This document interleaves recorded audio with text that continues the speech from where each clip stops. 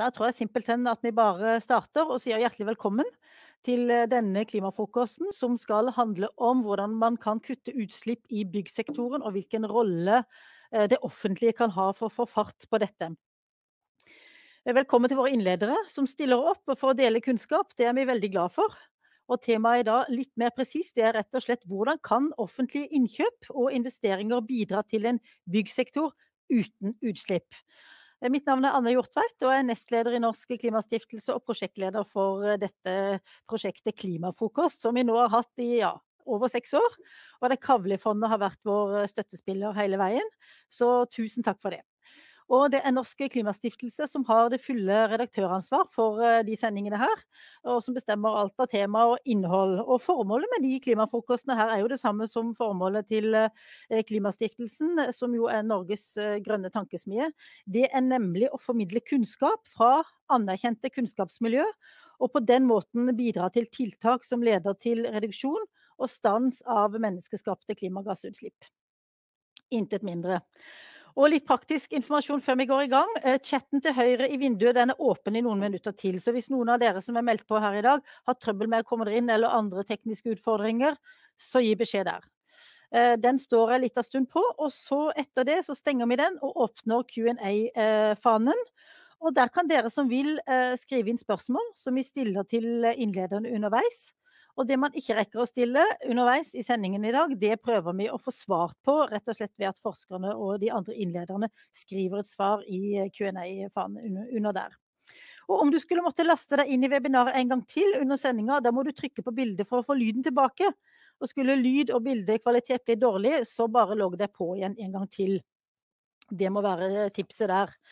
Så litt mer om temaet. Hvert år så kjøper jo det offentlige, stat, fylke, kommune, varer og tjenester for hundrevis av milliarder eh, kroner.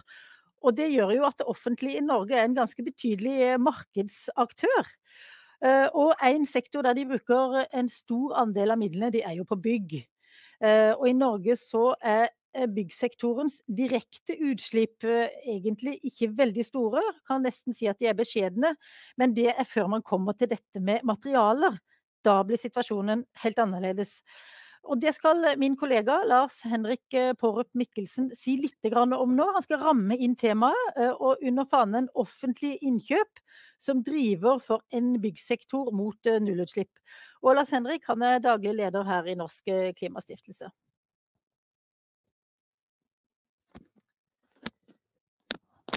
Takk skal du ha, eh, takk skal du ha Anne. Eh, I forrige uke så la EU fram en eh, renoveringsstrategi.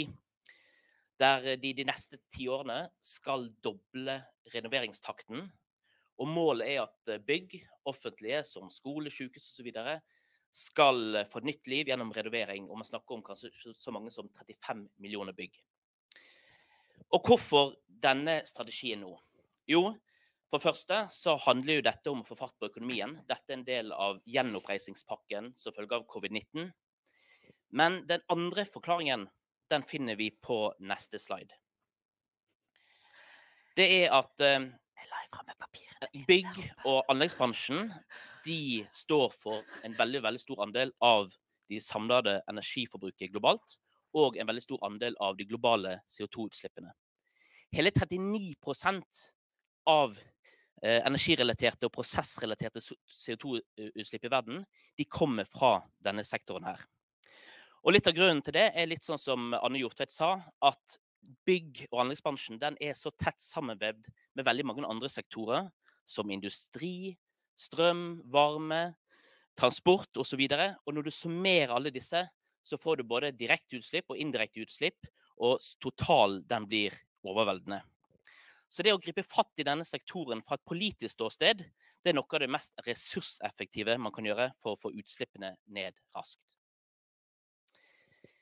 Dette kakediagrammet den viser de globale utslippene, eh, CO2-utslippene Eh, så har du på en måte alle andre sektorer enn bygg, bygg, og anlegg. Og så har du på en måte delt inn bygg og anlegg i underkategorier. Og Her skiller man mellom boliger, altså husene vi bor i, og andre bygg. Og man skiller mellom indirekte og direkte utslipp, som ble sagt i sted. Bolig det står for 17% av globale CO2-utslipp. Andre bygg 11% Og så ser man at de indirekte utslippene er langt større for begge kategoriene. For Norge så, så jeg håper jeg, er på en måte energirelaterte utslipp, de direkte, de er små. og Derfor synes de ofte ikke på statistikken. Men den andre kategorien, det gule kakestykket, det viser bygningsmaterialet og produktene. Og det står altså for 11% globalt av, eh, av verdens CO2-utslipp. Så det er en betydelig utslippskilde. I forrige uke så kom IA med det som gjerne blir omtalt som eh, energibibel. Og World Energy Outlook den har i år et nytt scenario som er mer i tråd med det som er målet i Parisavtalen. Nemlig at vi innen midten av dette århundret skal komme ned mot netto nullutslipp. Og det man ser her, det er egentlig at den vanvittige reisen vi nå skal bi oss ut på, dette, denne framskrivingen her, den går ti år fram i tid. Det er ikke lenge. Men vi skal altså gå ned fra opp mot 35 millioner tonn CO2 eh, i året til ned mot 20 i løpet av 2030, og så null eh, to tiår etter det igjen. Og hva betyr det? Jo, det betyr jo at alle sektorer de må adresseres. Og Det som er spesielt interessant å merke seg, det er hva man sier om bygningssektoren, som på mange måter er en enkel sektor å avkarbonisere, men på andre måter òg er vanskelig. Det IA sier, det er at frem mot 2030 eh, Eller de sier på 30% av de byggene som vi skal ha i 2030, de er ennå ikke bygd. Så det betyr at alt det vi på en måte gjør nå på byggeplassene rundt omkring de neste ti årene, det får utrolig mye å si for utslippene framover. Og så er det et utfordring, og det er at veldig få land de stiller krav om energibruk og utslipp. Eh, faktisk så lite som bare en eh, fjerdedel av landet de stiller sånne krav i dag. Og så er det en viktig påmenning fra IA til land som Norge, og det er at vi kan ikke vente på at teknologien modnes. Det IA slår fast, er at skal vi nå målet om netto nullutslipp, så må vi òg starte utrullingen og uttestingen av teknologier som ennå ikke har vært testet ut i fullskala. Så dette er ikke hyllevare vi skal eh, anvende på alle områder, men vi må på en måte være i førersetet. Hva har dette med offentlige anskaffelser å gjøre, og Norge? Jo, siden 2016 så har det offentlige brukt mer enn 500 milliarder kroner hvert eneste år på, på varer og tjenester.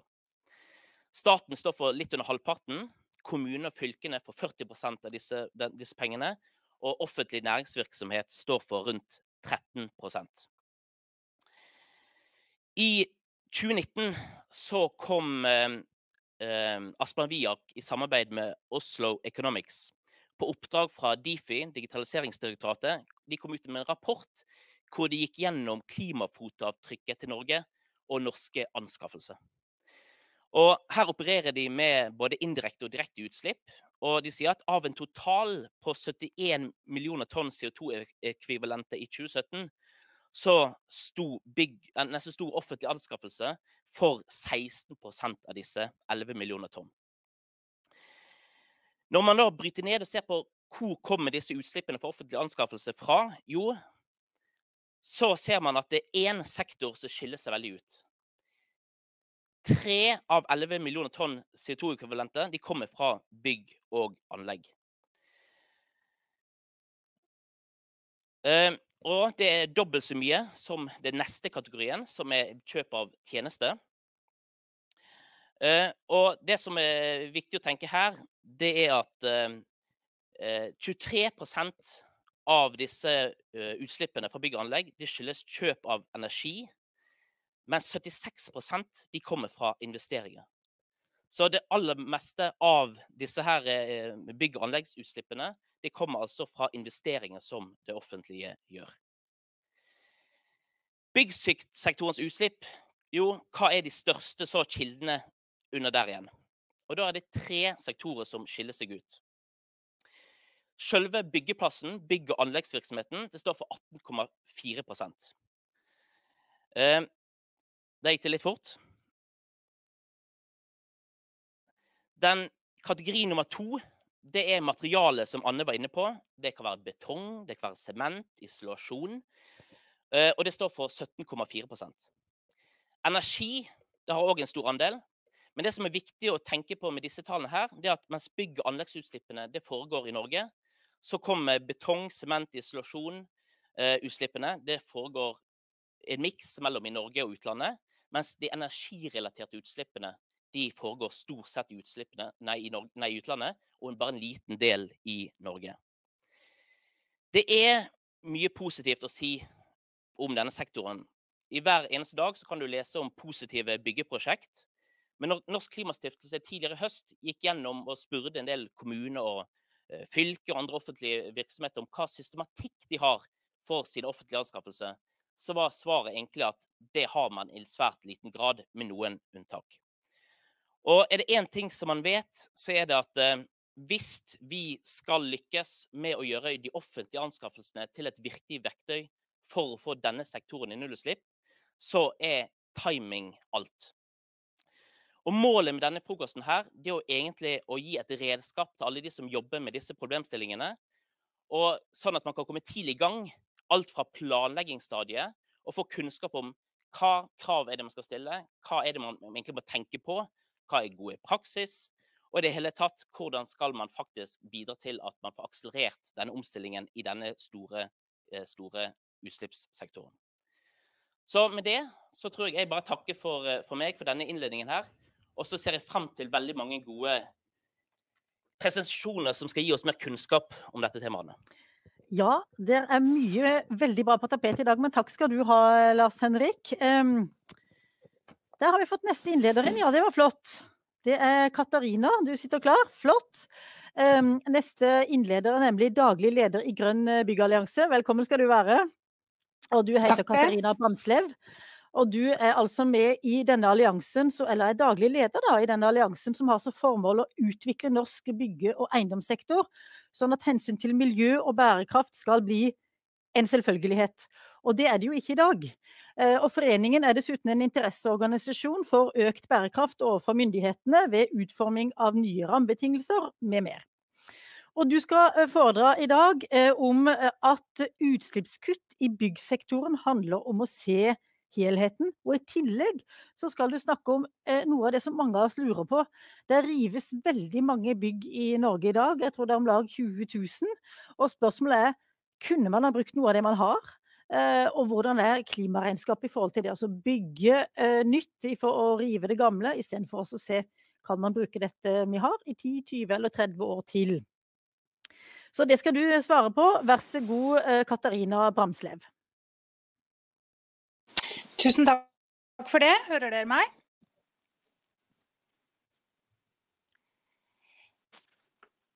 Jeg skal snakke om utslippskutt i byggsektoren, og hva vi kan gjøre. Og prøve å være litt praktisk i forhold til eh, alle dere som sitter og hører på. Bildet her er tatt Klimahuset i Oslo, som er et eh, veldig spennende eksempel på et bygg som både har redusert klimagassutslipp eh, for selve bygget, både materialbruken og energibruken, med 50 men inneholder også en spennende utstilling som særlig kan motivere unge mennesker til å gjøre noe med klimautfordringene. Så da går vi i gang med neste bilde.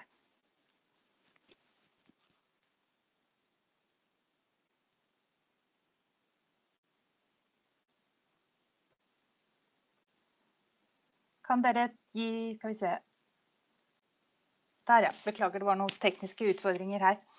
Eh, mange, både kommuner og eh, kommunale selskap, har fått beskjed om at de skal eh, tilfredsstille FNs bærekraftsmål. Og Derfor så tenkte jeg å innlede litt bredt, bare med å vise at det er mange av FNs 17 bærekraftsmål som eh, bygg kan bidra til å løse ut. Vår paraplyorganisasjon, som heter World Green Building Council, vi er en søsterorganisasjon med 70 andre eh, Green Building Councils rundt omkring i verden.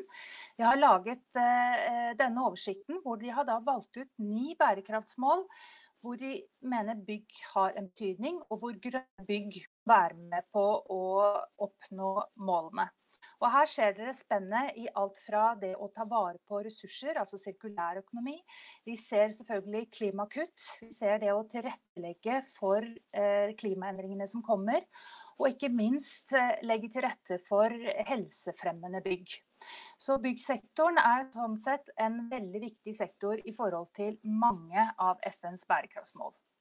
Men det jeg skal fokusere nå videre på, det er eh, da klimautslippene.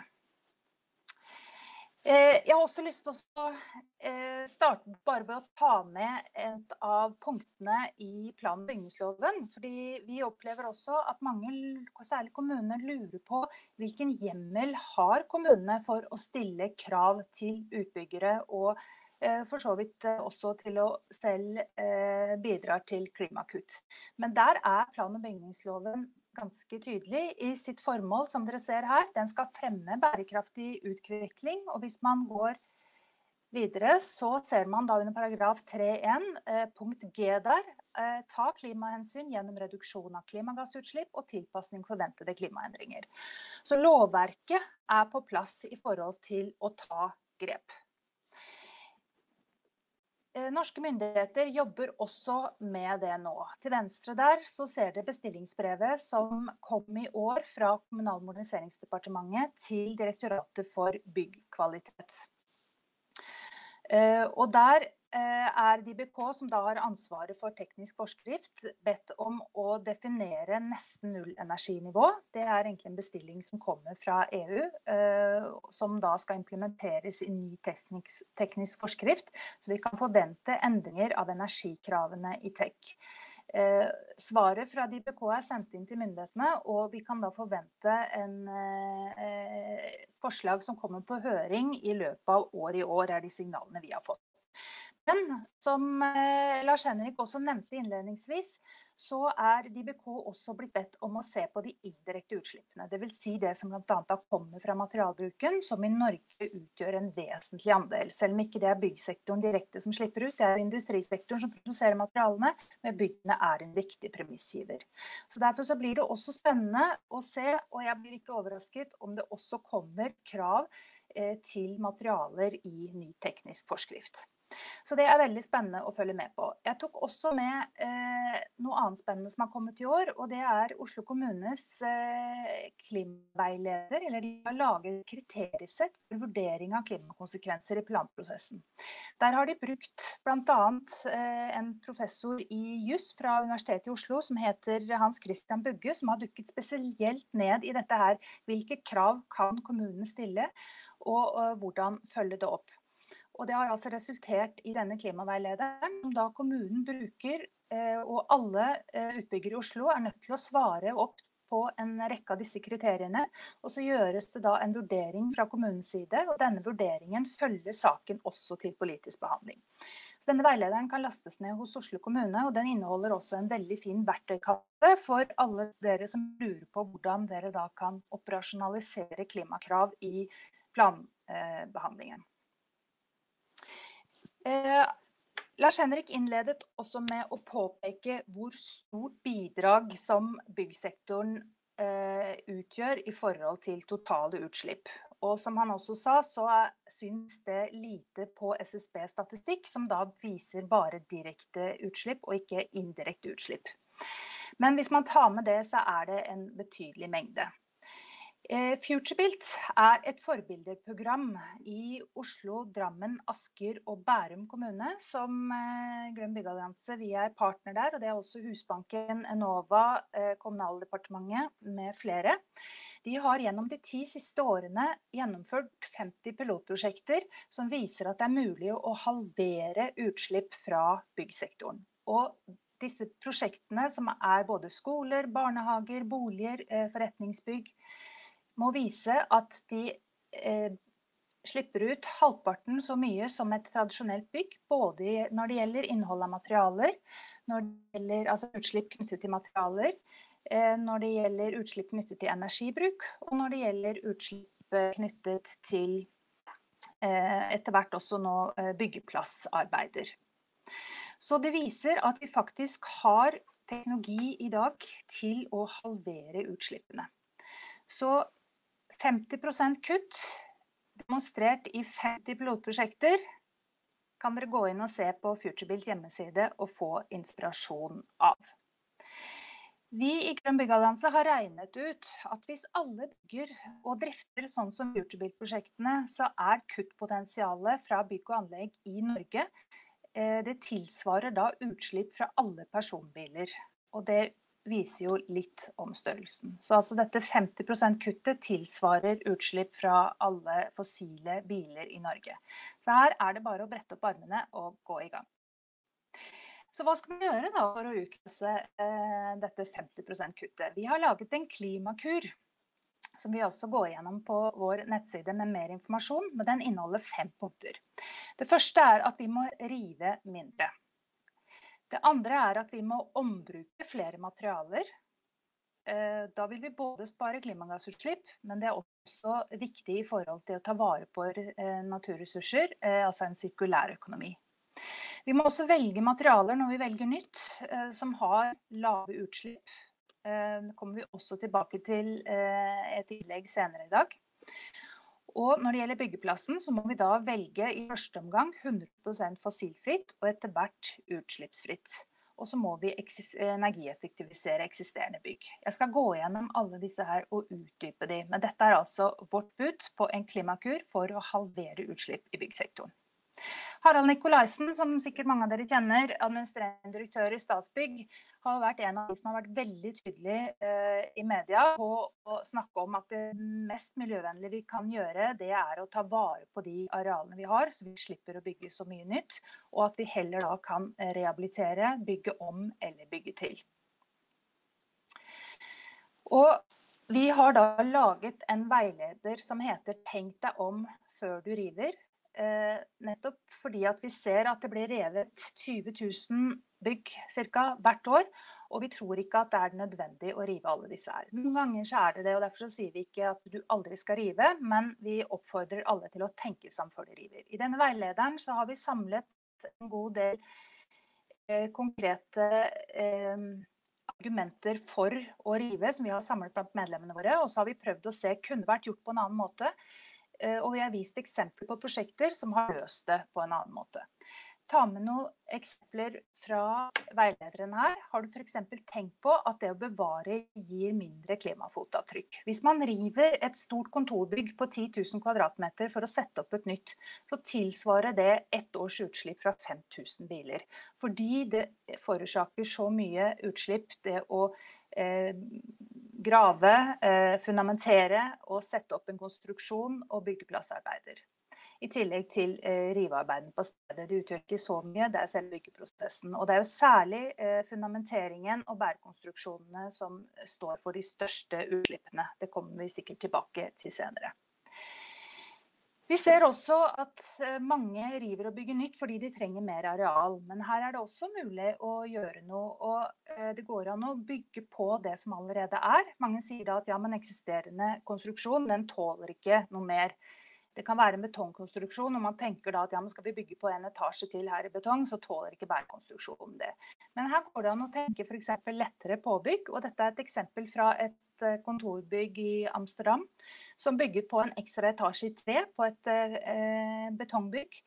Og viste da at eh, de da kunne få til mer areal med en lettere konstruksjon som eksisterende bærekonstruksjon kunne tåle. I tillegg så bygget de inn overlys, som dere ser her, så de fikk mye bedre lys ned i lokalene. Og bygget var ikke til å kjenne igjen Her er et uh, tredje eksempel fra uh, en skole i Oslo, Stasjonfjellet skole. Det var en sliten slitent 80-tallsbygg som kommunen vurderte å rive. Men de har heller valgt å rehabilitere det. Og Eh, på vår nettside så er det en film hvor eh, Bodil Moske fra Undervisningsbygg viser oss rundt i dette bygget. Skolen ser ut som ny, og det er også oppnådd passivhusstandard. Så dette er altså eksempler på at det er fullt mulig å gjøre noe med eksisterende bygningsmasse. Så Det første punktet i Klimakuren var altså at vi må slutte å eh, altså vi må rive mindre. Det andre er at vi må ombruke. og Der vet vi at det er noen utfordringer i forhold til eksisterende regelverk. Det jobbes det med, og EU har bl.a. på agendaen sin at alt regelverk skal gås gjennom. Og vi vet at det er noe av regelverket fra EU som gjør ombruk vanskelig. Men Entra har f.eks. Eh, med et nytt prosjekt de holder på å bygge i Oslo akkurat nå, vist at det er mulig å få til 80-90% ombruk. Her brukes bl.a. bærebjelker fra regjeringskvartalet inn i en ny konstruksjon på Christian Augusts gate i Oslo. Eh, foreløpig så er det dyrt og vanskelig, men her kommer det ny teknologi. Og for få dager siden så, så vi jo en nyhet om at Finn lanserer et eh, eget område for brukte byggevarer. Så det har vi ventet ventet på lenge. Det tredje punktet i Klimakuren det var eh, å da velge materialer med lave klimagassutslipp når man først skal bygge nytt. Dette kommer Kristian eh, Solli til å komme tilbake til senere, men eh, også lyst til å tipse dere om en materialguide som er delfinansiert av Direktoratet for kvalitet, som vi har laget sammen med Kontekst, som ligger på siden vår. Kan gratis lastes ned. Og her kan du sammenligne ulike eh, materialer, f.eks.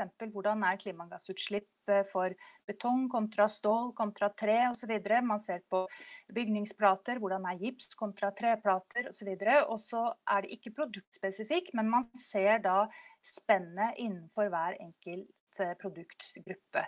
I tillegg til klimagassutslipp så ser man også her på eh, utslipp til altså avgassing til inneklima, man ser på muligheter for gjenbruk, og man ser på innholdet av helse- og miljøfarlige stoffer. Så en praktisk guide til bruk i tidlig fase. Det fjerde punktet i Klimakuren det var å eh, velge fossilfritt og helst utslippsfrie byggeplasser. Der var også Oslo kommune tidlig ute med å stille krav. Eh, først stilte de krav til seg selv om 100% fossilfritt. Det vil altså si at man kan bruke biodiesel istedenfor vanlig eh, diesel. Men nå etter hvert så jobber Oslo kommune også med å gå over til eh, utslippsfritt, og dvs. Si fullelektrisk utstyr. For et par uker siden så kom det et krav fra Oslo kommune at ikke bare offentlige, men også private bygge- og anleggsplasser skal være 100 Eh, fossilfritt. Og Raymond Johansen varslet om at kravet om fullelektrisk kommer om eh, ca. tre års tid. Dette er blitt tatt veldig godt imot fra entreprenørene. Denne artikkelen i bygg.no for et par år siden da sa eh, Jon Sandnes at byggenæringen forbereder seg på dette. Og vi ser at i hvert fall i storbyene så er de klare for å ta det grepet. Vi vet at det ikke er like lett over hele landet, men eh, det jobbes eh, fra entreprenørenes side sånn at de skal få tak i utstyr, bygge om eksisterende utstyr. Det går også an. Bygge om eksisterende anleggsmaskiner sånn at de kan bli elektriske. Det er er en vinn-vinn. Det gir mindre utslipp, eh, og det gir bedre eh, både lyd- og luftkvalitet for de som jobber.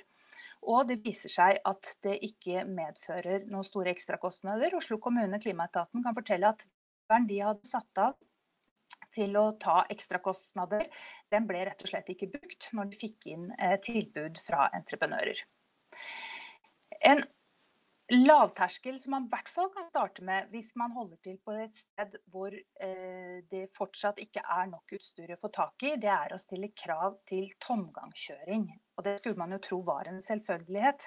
Men det har faktisk entreprenører kommet og sagt at kan ikke byggherren være så snill å stille krav om at det er forbudt med eh, tomgangskjøring sier vi at ja, hvis du som entreprenør kommer og spør om det, kan du ikke bare slå av.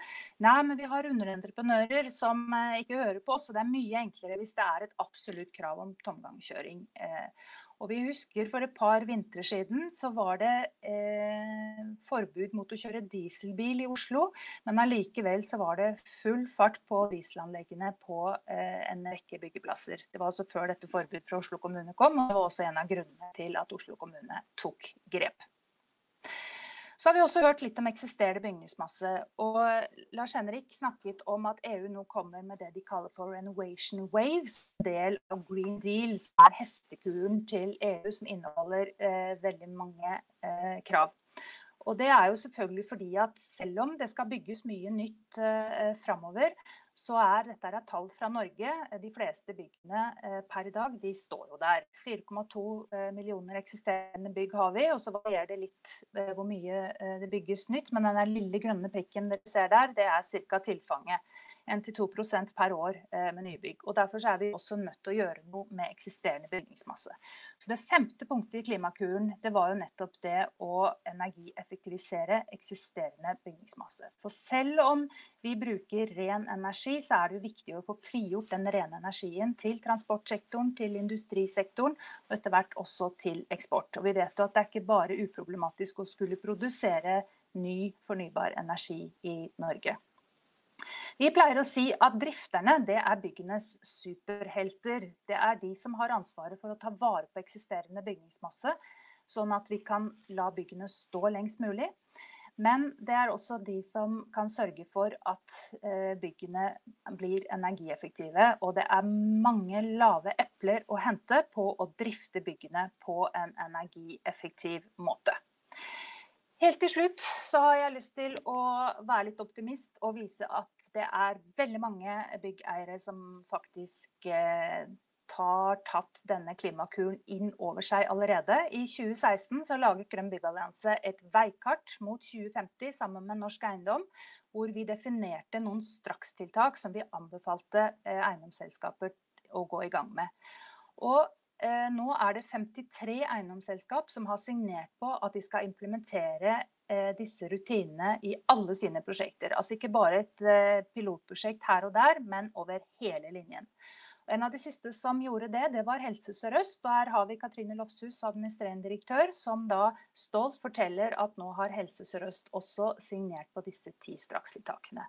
Så det er er et stort potensial, og det er, et, eh, det er, grunn til å være optimist. Eh, fordi her er det mange som har lyst til å ta grep, og teknologien finnes. Tusen takk. Tusen takk skal eh, du ha. Det var jo en veldig løfterik avslutning at teknologien finnes. Det er et spørsmål som er kommet fra en av de som ser på, og det lyder som følgende er tiltakskostnadene, altså kroner brukt per tonn CO2-utslipp spart, beregna for noen nylige statlige eller kommunale lavutslippsbyggeprosjekter? Ja, Det er jo ofte lett å si at ja, ja, men skal vi gjøre noe som gir økt kvalitet, så koster det penger. Men jeg vil jo si at det er ingen direkte sammenheng mellom spart CO2 og eh, kostnader. Veldig mange av disse tiltakene her koster ikke noe ekstra. Jeg nevnte dette med, med fossilfri byggeplass. Eh, biodiesel koster mer, men man bruker mindre diesel f.eks. Mange av disse bygningsmaterialene eh, vi snakker om, de koster ikke noe mer. Det handler mye mer om bevissthet. Eh, det samme det å ta vare på eksisterende bygg, det kan jo ofte være en kostnadsbesparelse. Så før vi går inn og lager regnestykker, eh, for det finnes ingen gode regnestykker på det, fordi det regnestykket vil variere med akkurat hvordan man setter det opp. Men jeg tenker Hovedbudskapet mitt er at det trekk, dette her trenger ikke å koste uh, noe mer. Og Vi har i hvert fall sett på at det å redusere med 20 det har vi også skrevet om på hjemmesiden vår, koster absolutt ingenting. Skal du ned i 50% så er det kanskje noen nye materialer du må bruke som fortsatt har en initiell kostnad. Men så er det jo også sånn at når du er kommunepolitiker eller fylkespolitiker, så har man en veldig begrensa kasse å ta av. Sånn at det, å kunne få fram ordentlige regnestykker som viser at det kan være like rimelig å rehabilitere eller å, å, bare ta vare på det man har, det er jo veldig nødvendig for å gi et godt beslutningsgrunnlag for fylkene og kommunene. Er det noe mer på gang her når det gjelder dette, å lage mer nøyaktige regnestykker? Mm. Ja, Vi har skrevet eh, noe om det i eh, denne 'Tenk om før det river', som jeg viste. så Der finner dere noen regnestykker. Eh, og Vi har også et arbeid på gang fordi Grønn byggallianse er også organisasjonen som forvalter BREAM, miljøklassifiseringsordningen BREAM i Norge. Og vi jobber også med å ha allerede satt i gang et arbeid, konsulentarbeid med å fremskaffe kostnader knyttet til BREAM. Så det kommer noe mer på kostnadssiden fra, fra vår side. Men så er det jo også litt sånn at man kanskje er vant til at når bygg har stått en stund, så skal de rives og noe nytt skal komme til. Og det å være kommune- og fylkespolitiker er jo også litt dette med å og vise litt handlekraft. At man bygger noe nytt og noe stort og noe fint, et monument i sin kommune, bra ting for sine innbyggere. Så, så det er jo også en slags hva skal jeg si, psykologi knytta til dette her, da. At man gjerne vil ha noe nytt og fint. Ja, jeg tenker man også må tillate seg å klippe snor på et eh, flott rehabilitert bygg. F.eks. sånn som Stasjonsfjellet skole til undervisningsbygg. Det trenger ikke å være et nybygg for at man skal få lov å klippe snor. Så jeg vil oppfordre politikere til å eh, tenke i de baner, og dermed bidra eh, til eh, klimagassutslipp. Og så er det jo dette med eh, også med tre versus andre byggematerialer. Altså Hvis man tar en tur rundt i Norge, så ser man jo at en stavkirke har stått i veldig mange hundre år. Og hvis du tar en tur til Valle i Setesdal, så ser du Ringnesdalloftet og Ringnestadtunet. Har stått der siden 1500-tallet, eller vis av så, så, så, dette med å tenke eh, mer i tre også, er det blitt mer moderne, eller er det bare sånne små signalbygg her og der? Jeg står i Bergen nå, og der har man jo fått et veldig stort og fint trebygg, men, men er det mer på gang når det gjelder tre? Det er det helt klart. Blitt mer vanlig å bygge i massivtre eh, enn det det har vært tidligere. Og kommet mye, eh, mange spennende prosjekter og store bygg også, eh, som også ut, har utfordret eh, eh, brannforskrifter.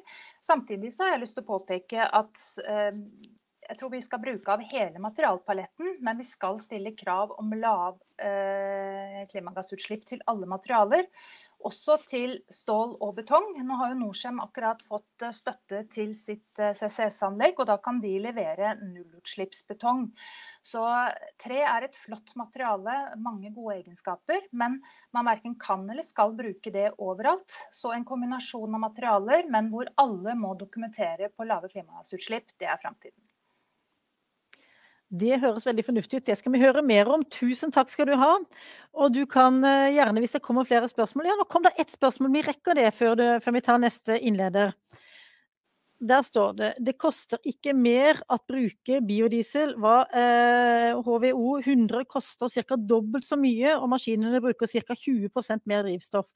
Hvordan eh, kan dette gå i hop med at det ikke skal koste mer?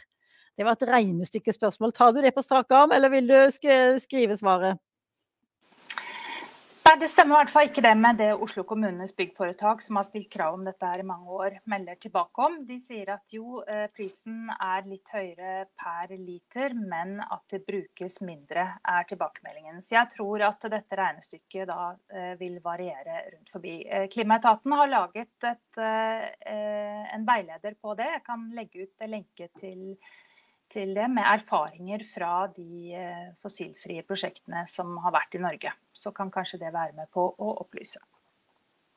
Og så nevnte du dette med sement og stål, og det er jo mye spennende på gang der. Det skal vi komme tilbake til. Og det viktigste da å konkludere med at det, det er ikke så veldig viktig hvilket materiale man bruker, men at de må være veldig utslippslave og helst utslippsfrie. Tusen takk skal du ha. Da går vi videre til eh, neste innleder, og det er Kristoffer Skar. På ehm, eh, klimafrokostene våre så pleier vi alltid å ha med forskere, og så også denne gangen, som kommer med både nytt og litt eldre eh, forskningsmateriale som kan belyse de problemstillingene vi tar opp. Og eh, Neste innleder er seniorforsker ved Sintef og arbeider i avdelingen for eh, arkitektur, byggmaterialer og konstruksjoner.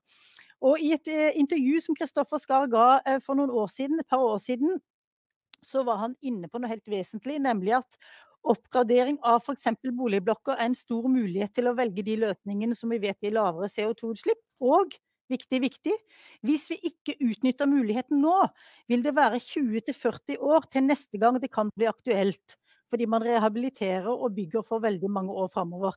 Så det var et sitat fra deg som jeg fant på nettet. Eh, og det er dette som er så viktig, at vi har kunnskap til å velge det bærekraftige og klimavennlige, og, og at dette er så, er så, bra som mulig økonomisk. Dette skal du snakke om. Der har du logga deg på. Eh, det store materialvalget. Hva bør man etterspørre, og hva bør man unngå? Intet mindre enn det skal du snakke om, Kristoffer Skar. Vær så god. Ja, takk skal du ha. Dere ser og hører meg? Ja, så bra. Da tror jeg òg presentasjonen skal komme opp straks. Eh, takk for en eh, fin introduksjon. Jeg er Kristoffer Skaar, seniorforsker i Sintef og førstemanns 2 på, på NTNU. Eh, jeg skal si litt om eh, materialvalget. Eh, forskningen og deler av presentasjonen jeg tar med her, er basert på, eh, på forskning som er gjort i FME-SEN, som er et åtteårig forskningsprosjekt på nullutslippsområdet, finansiert av Forskningsrådet. Og jeg tar med den definisjonen her på et nullutslippsområde for å vise hva vi ser på i SEN, men òg for å vise at bærekraft er, er mer enn bare miljø, og miljø er mer enn bare klima. Men klimagassutslippene er selvfølgelig svært viktige og kjernen i forskningssenteret. Og hva bør en etterspørre av material? Det er det jo mange som spør seg selv om. Det gjør vi òg. Det dere ser nå er Zero Emission Building Lab, ZEB-lab. Det er en kontorbygning som SINTEF NTNU bygger på Gløshaugen i Trondheim. Og det er et nullutslippsbygg som vi tar over på torsdag denne uka her. Som har akkurat vært igjennom den samme type diskusjoner som Katarina var inne på òg. Ja, store materialvalget. Hvis en ser i avisene, så ser en at det er mye debatt om det. Kanskje spesielt rundt tre eller betong. Hva bør en velge? Hva av disse, for et av disse materialene er, er mest klimavennlig eller miljøvennlig? Og jeg, jeg synes ikke så mye om den type forenkla diskusjoner. Det ble jo nevnt av Katarina at det er ikke enkeltmaterialene, men du må velge de beste og, og fra hele paletten. Så, så det, det vi gjør er å komme fra et utslippsfri bygg er et svært høyt ambisjonsnivå, både å få til i praksis og en veldig ukjent anskaffelsesprosess. Så hvordan kan en komme fra det som, som noe nytt og usikkert, til at det blir hyllevare, at det er standard å, å, å få bestilt. Og her vil jeg bare si at det er viktig å følge opp kravene hele veien. Så, så hvis du har, et, har, en idé og et design, så må du følge det opp gjennom hele prosessen med valg av materiale og ikke minst valg av leverandører. Og for, for å sørge for at det ikke sklir ut underveis. Og tidlig dialog med markedet er fornuftig for å sette krav i konkrete prosjekt. Det kan være store forskjeller rundt omkring i landet basert på hva type material, hva type produsenter, hva transportavstander har de. Så gå i dialog med markedet for å se hva, hva er de fornuftige kravene å stille, så allikevel løfte ambisjonsnivået.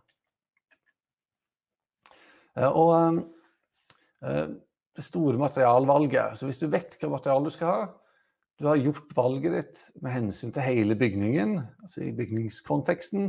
Du har tenkt på hele livsløpet, fra materialproduksjon til byggeplass, til bruk, utskifting, avhending, kanskje ombruk. Da er det bare å benytte eksisterende kunnskap. Grønn materialguide fra, fra Byggalliansen, miljødeklarasjoner, svanemerker, kriterier fra DFØ er alle gode, gode utgangspunkt for å stille krav til materialene. Og jeg tenkte å si litt om tre av disse. Jeg sier ikke så mye mer om svanen, siden de ikke tallfester klimagassutslippene. Men det gjør Grønn materialguide. Og her har de gått igjennom en rekke produktkategorier, og for hver av disse så har de sagt hva er spennende innenfor produktgruppa. Og da har du et veldig godt utgangspunkt for å stille krav. Vær i nederste halvdel, nederste fjerdedel, da, da har du et godt utgangspunkt. Samtidig må du huske på at tallene her er for materialproduksjonen, så må òg ta hensyn til transporten, til levetiden, til utskiftingen underveis. Men et veldig godt utgangspunkt for å finne de rette materialene. Miljødeklarasjonene de gir deg tallfesta informasjon om miljøpåvirkningen, inkludert klimafotavtrykket, men du må selv stille kravene. Så de kommer med tallene, men skal du ha to eller ti kilo CO2, det, det må du selv finne ut av. Og da kan du igjen se til Grønn materialguide for å finne hvor bør det være. Så har vi anskaffelseskriteriene fra, fra DFØ, som har tatt over for Difi. De er på anskaffelser.no. De har en kriterieveileder, inkludert kriterier for bygg. Og her ser vi da hva type krav kan du stille til ulike typer betong. Og da er det, når du har valgt betongen i et livsløpsperspektiv i en bygningskontekst, så kan du stille disse kravene som et utgangspunkt. For å, for å finne rett nivå du ønsker å være på. Men som sagt, dette er jo materialnivået. Jeg hvis du har ensidig fokus på materialene, så har du en risiko for, for at hele bygget og bygningsdelen blir suboptimalt. Så at du, du får de laveste utslippene fra betongen, men trenger kanskje bruke mer av den. Så det med å ha helhetsperspektivet er, er veldig viktig. Men hvis du ikke vet hva materiale du skal ha, du kanskje ennå har begynt å ta hensyn til hele bygningen, kanskje du ikke har tatt hensyn til hele livsløpet, da må du begynne der. Så start med bygningen, og hva er ambisjonsnivået ditt? Eh, og igjen kan vi se på, på resultatet for hvor bør ambisjonsnivået være. Dette er fra en Send-rapport som kom nå i år, hvor det er kartlagt over 130 prosjekt, og, og klimaregnskapet fra de er analysert. Her ser vi resultatene for fem forskjellige typer bygg. Boligbygg, kontorbygg, skolebygg, barnehage og rehabilitering. Eh, og eh, i aksen her er da klimagassutslippene i kilo CO2 per kvadratmeter og per år. Eh, så når du tar hele bygget, deler det på antall kvadrat og deler det på 60 års levetid, hvis det er det som er relevant, så får du tallet her. Og det første vi kan se i, i denne litt kompliserte grafen, er jo at uh, spennet ligger rundt 5-10 kg CO2 uh, per kvadrat og år. Uh, som er et stykke unna null, men vi ser hvor, en, hva ende vi vil være på. Og rundt halvparten av prosjektene er inni den store boksen, og så ser du spennet med, med de andre prikkene utover. Og, og, igjen, dette gir et godt utgangspunkt. Vil du være bedre enn gjennomsnittet, da må du ligge under streken og under krysset inne i boksen. Eh, og når du har satt deg et eh, ambisjonsnivå på, på, bygget, så kan du fortsette videre til bygningsdelene. Eh, den samanalysen har òg med resultatet her. Her ser vi for bygningsdelene for bygningen, hvor da 22 er bærekonstruksjonen, 25 er dekkene og 27 er fast inventar. Så igjen med at eh, halvparten ligger, omtrent, eh, ligger inne i boksen, og så ser du spennet med de eh, strekene som går ut. Og det vi ser her, er jo at det er ganske stor forskjell fra bygningsdel til bygningsdel. Og det vil jo da være fornuftig å stille strengere krav der utslippene er høye, og du kan kanskje forvente å ha en, en større effekt. Så, så still kravene til bærekonstruksjonen og dekkene før du stiller kravene til fast inventar. Eh, og eh, helt til slutt så tenkte jeg bare å si litt om hvor utviklingen går. Eh, og dette er bare noen få eksempler på, på utvikling på materialnivå.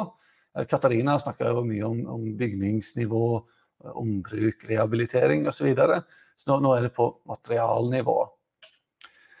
Og det ene jeg ville ta med her, var en artikkel som var i Teknisk Ukeblad tidligere i år, hvor upresise formuleringer i betongstandarden for eh, hva betongkvalitet du skal ha for en viss type eksponeringsklasse.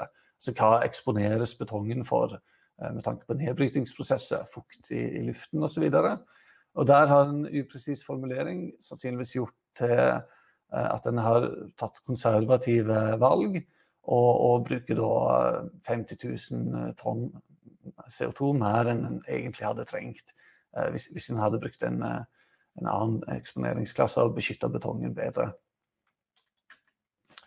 Eh, og eh, så har vi et annet prosjekt. Eh, Dare to See heter dette. Det er utvikling av nye betongkonstruksjoner. Hvor, hvor en ved å endre pH-verdien på betongen kan bruke aluminium som armering i stedet for jern. Altså det endrer pH-en, så du ikke får nedbryting av aluminium. Og gjør at du ikke lenger trenger å bruke så mye betong for å beskytte armeringen. Så et eksempel med en benk viser at den ligger helt oppe i overflaten. Da kan du både redusere mengden eh, betong du bruker, eh, i tillegg til at du kan erstatte klinkeren i betongen med blåleire, som gjør at du kan redusere temperaturen du, du brenner den på. Og du vil da få en reduksjon i, i utslippene der òg. Eh, I tillegg vil betongen få svært lang holdbarhet. Evig betong er jo et begrep som har vært brukt om denne. Og, du unngår en del av de typiske nedbrytingsprosessene du har med, med stål. Eh, og her er et siste eksempel. Eh, det er Woodsol-prosjektet. Hvor en ser på nye byggemetoder for eh, tre. Her er en dekkeløsning som er vist.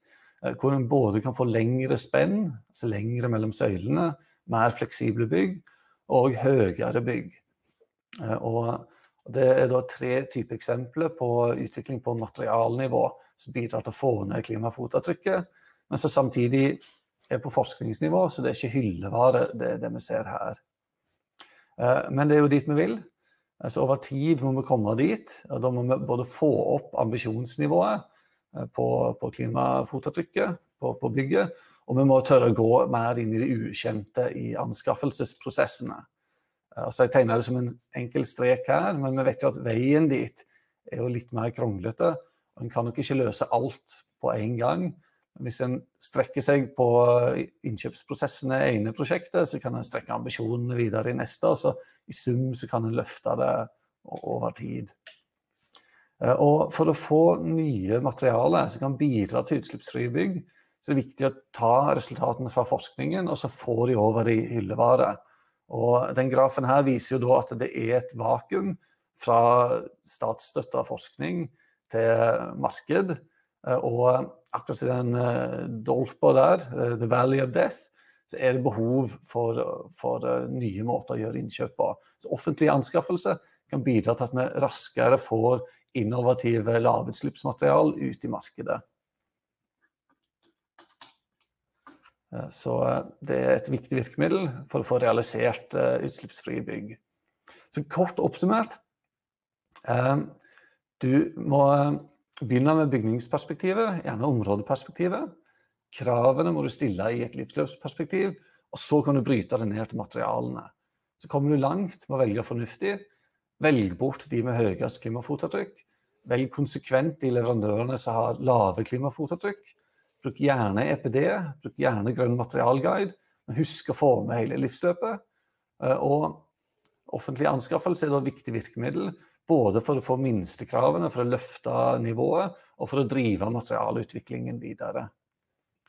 Og det var det jeg ville si i dag.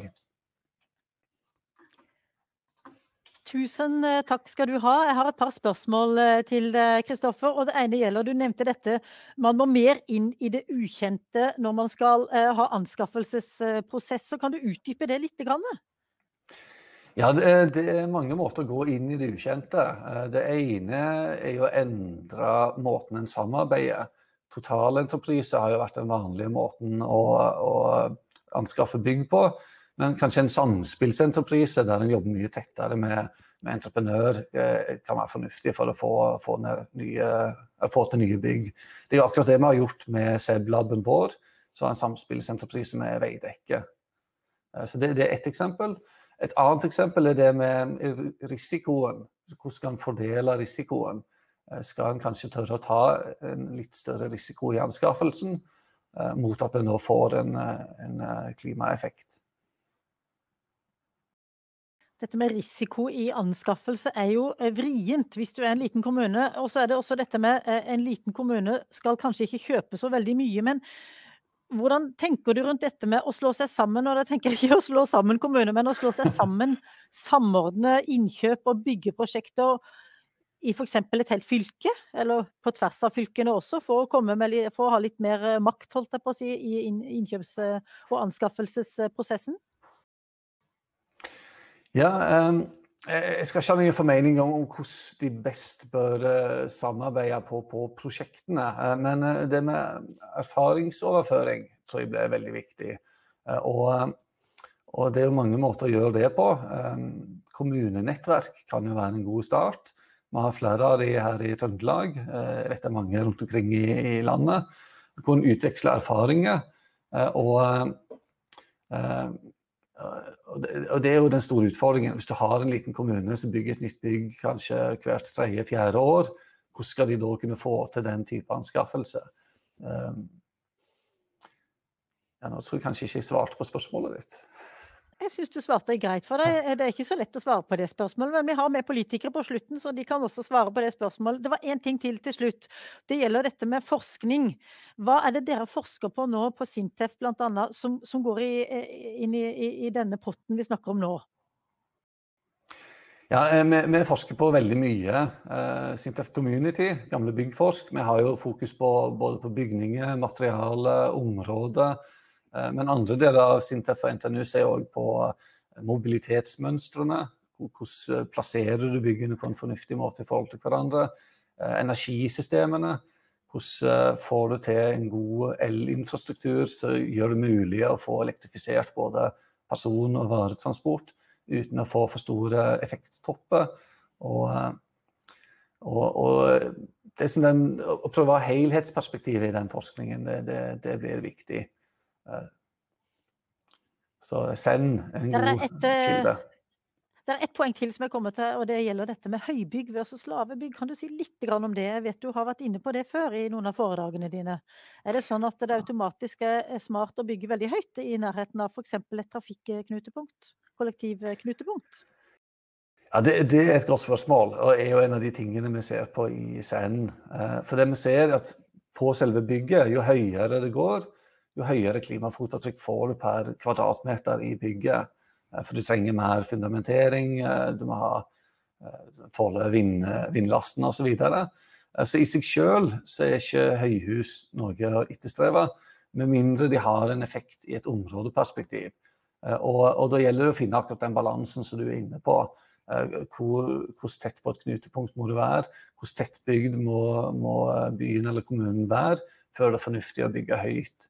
Her har vi òg, både i SEND, gjort en del forskning Eh, vi har òg et eh, prosjekt som heter EE Settlement, som ser på akkurat dette med bosettingsmønster.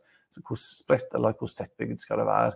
Eh, hvor en òg prøver å ta inn infrastrukturen, veier og, og den type ting. Som òg har et stort bidrag. Så jeg, jeg har ikke noen konklusjon for deg der heller.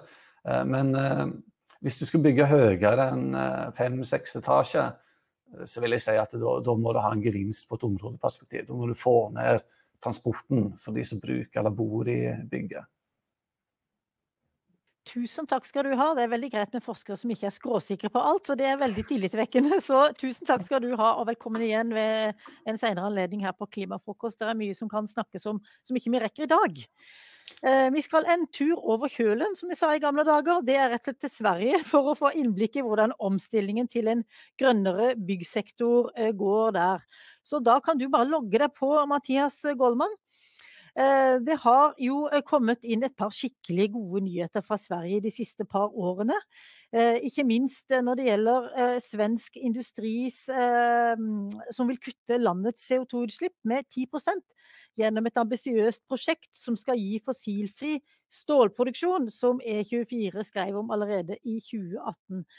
Da lurer jeg på, Mathias Goldman, er du i ferd med å logge deg på fra Sverige? E24 skrev, eh, skrev ja, det allerede i 2018, og så hei sann. Uh, og så heter det da videre at nå starta verdens første pilotanlegging for fossilfritt stål i Luleå. Det heter nylig. Og stål er jo, som vi har hørt, en viktig byggevare. Og om den kan produseres utslippsfritt, da er jo en viktig uh, milepæl uh, nådd.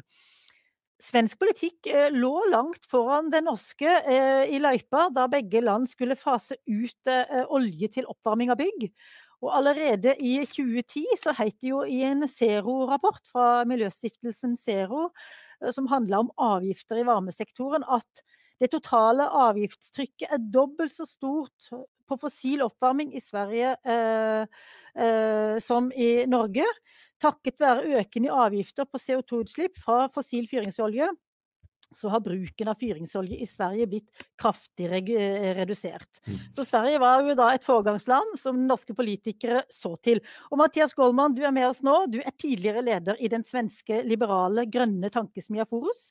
Nå er du bærekraftsjef i eh, Sveko, og du skal innlede om omstillingen til en grønn byggesektor sett fra Sverige. Vær så god.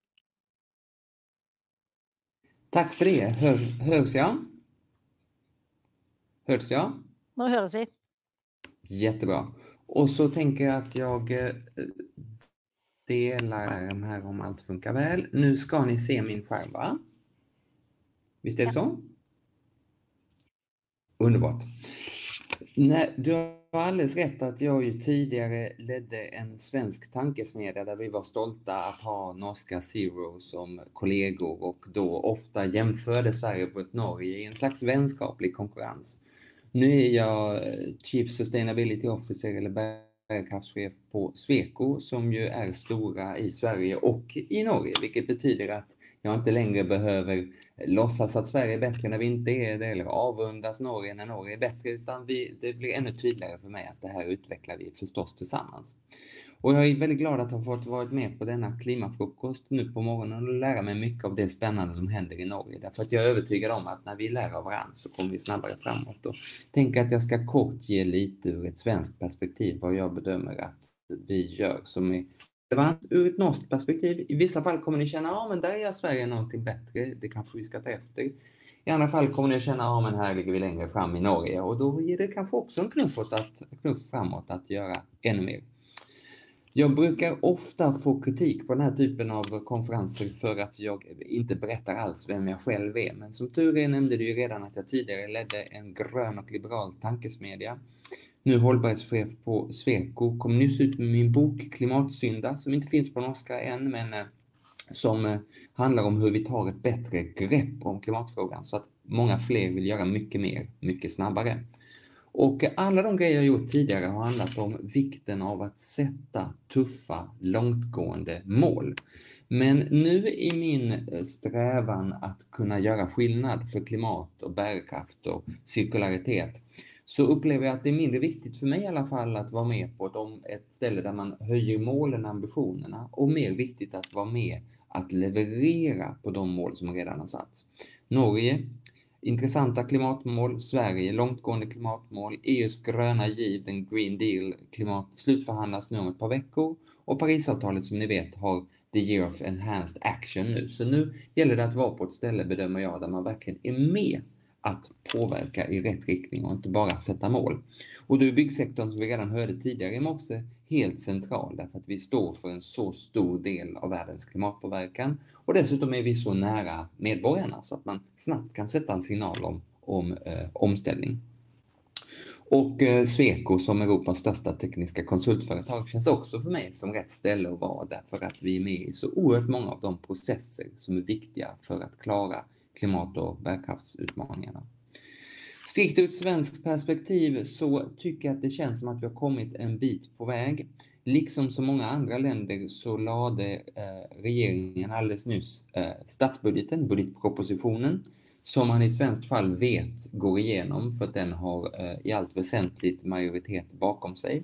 Det var den största budgeten någonsin, mycket på grund av reformutrymmet man gav sig själva för att hantera coronapandemin. Och i denna den största budgeten någonsin med det största reformutrymmet så är det också den grönaste budgeten någonsin, den största satsningen inom eh, hållbar omställning, inom klimat och miljö, cirkularitet och så vidare. Här har vi Utgiftsområde 20 i statsbudgeten för budgetproposition 2021, där finns miljö och naturvård och liknande. Men tar man infrastruktur, tar man energisektorn, tar man bostadssektorn och liknande, ser vi samma snabba ökning för det gröna och det hållbara. Och den ökningen är ju egentligen ännu större än vad den syns vara, därför att mycket av det man tidigare behövde stimulera med statspengar löser sig ju numera självt av det enkla skälet att det är lönsamt. Den frågan hörde vi också alldeles nyss i ett annat sammanhang här på frukostseminariet. Så det är verkligen en stor satsning. Och fokus hörde vi i regeringsförklaringen här i Sverige, vi hörde från oppositionspartierna också. Det är någonting som är ganska likt det man hör i EU-kommissionen från van der Leyen och faktiskt också i Joe Bidens presidentkampanj Build Back Better. Vi ska utnyttja den i grunden förstås oerhört tragiska situation vi befinner oss i med en pandemi vi fortfarande inte har full koll på. åtminstone ska det leda till att vi får en bättre eh, återstart än det som vi hade innan. Finanskrisen för drygt tio år ja, då gjorde vi bara samma sak som efteråt som vi gjorde innan krisen och vi är alla överens om att det kan vi inte göra om. För nu har vi bara tio år på oss att klara Sveriges avgörande 2030-mål för klimatet, EUs gemensamma mål 2030 för klimatet som håller på att färdigförhandlas. SDG-erna, Sustainable Development Goals, löper också ut 2030 och 2030 eh, är ett märkesår också för Parisavtalet. Så att vi måste rappa på i klimatomställningen. Och en, en nyckel för att förstå de svenska satsningarna eh, från regeringens sida, jag företräder inte alls regeringen, eh, vill gärna berätta detta ganska rakt upp och ner utan att värdera det så att vi förstår bara grannländer emellan vad som är utgångspunkterna, vad man satsar och så vidare. De tre svenska utgångspunkterna, så som jag läser in det, är att de satsningar man gör ska ge jobb. Vi står just nu och balanserar om vi ska tippa över 10% arbetslöshet eller inte i Sverige. Regeringen har målet Europas lägsta arbetslöshet och vi är en bra bit därifrån, vilket betyder att det som skapar jobb går före i kön så att säga. Vi har en lite liknande diskussion jag ibland följer i Norge om hur ska vi få hela landet att leva bättre och minskat klyftan mellan stad och land. Så att satsningar som inte bara handlar om storstadsområdena utan ger genomslag i hela landet kommer också att ha prio. Och så som tredje prio klimat. Där vi ser både att det handlar om utsläppsminskningar och klimatanpassning. Mitigation and adaptation för att prata FN-språk. Den här bilden är inte från i somras utan från 2018 års rekordvarma sommar i Sverige och i Norge. Med torkan, nödslakten, missväxten, bränderna. Och det där har vi fortfarande ganska färskt minne i Sverige. Vi satte också värmerekord 2020 under sommaren och vi satte all time high för varmaste oktober alldeles varmaste september, förlåt, alldeles nyligen. Så att de tre är liksom knäcken för att förstå vart Sverige är på väg någonstans. Och det finns mycket jag skulle vilja prata om, men om jag ska lyfta fram bara fyra S i den svenska kortleken där jag tror att vi möjligen kan vara relevanta för omvärlden och där jag tror att vi kan hitta samverkan Sverige-Norge, så är det de följande fyra. Den första ingången är miljonprogrammen som man kallar det i Sverige. Husen som är ungefär jämngamla med mig så får ni titta på skärmen och gissa vad det innebär. Det som är byggt ungefär kring 70-talets början. Huvudsakligen ser det ut så här. Vi behövde snabbt bygga bort bostadsbristen och de här är idag i stort behov av renovering och i en fantastisk potential för energieffektivisering. Och energieffektivisering är ju spännande nu därför att tills alldeles nyss handlade det i ett svenskt och förmodligen norskt perspektiv nästan bara om att skydda sig mot kyla. Det har vi byggt någorlunda bra i Sverige genom åren, men energieffektivisering nu efter rekordvarma somrar handlar plötsligt också om att bygga bort risken för värmeslag för boende där vi på Sweco alldeles nyss i vår Urban Insight-serie kollade vad är folk oroliga för i boendemiljön och då är det väldigt många som säger att man är orolig för plötslig hetta där man inte alls bedömer att man kan påverka sitt boende. Så denna renovera miljonprogrammet, ja det har i princip en miljard kronor 2021, 2,5 miljard 2022 och åter en miljard ungefär 2023. Är man lite cynisk där kan man tänka, ja, ja 2022, det är då det är val i Sverige, val till riksdagen. Men det är också så faktiskt att det tar lite tid att komma igång. Så sammantaget är det en väldigt stor satsning. För tänk en statlig delfinansiering, då handlar det totalt om 10, 20, 30 miljarder någonstans i satsning på miljonprogrammet. Det andra som redan nämndes i inledningen här och som vi har jobbat ett par år i i Sverige är detta vi kallar Industriklivet. Att satsa på industrins omställning till hållbarhet. Det fick 300 miljoner 2018, dubblades 2019 till 600 och så vidare och nu är det uppe i 750 miljoner kronor i statsbudgeten och igen bara delfinansiering så totalsatsningen är mycket större.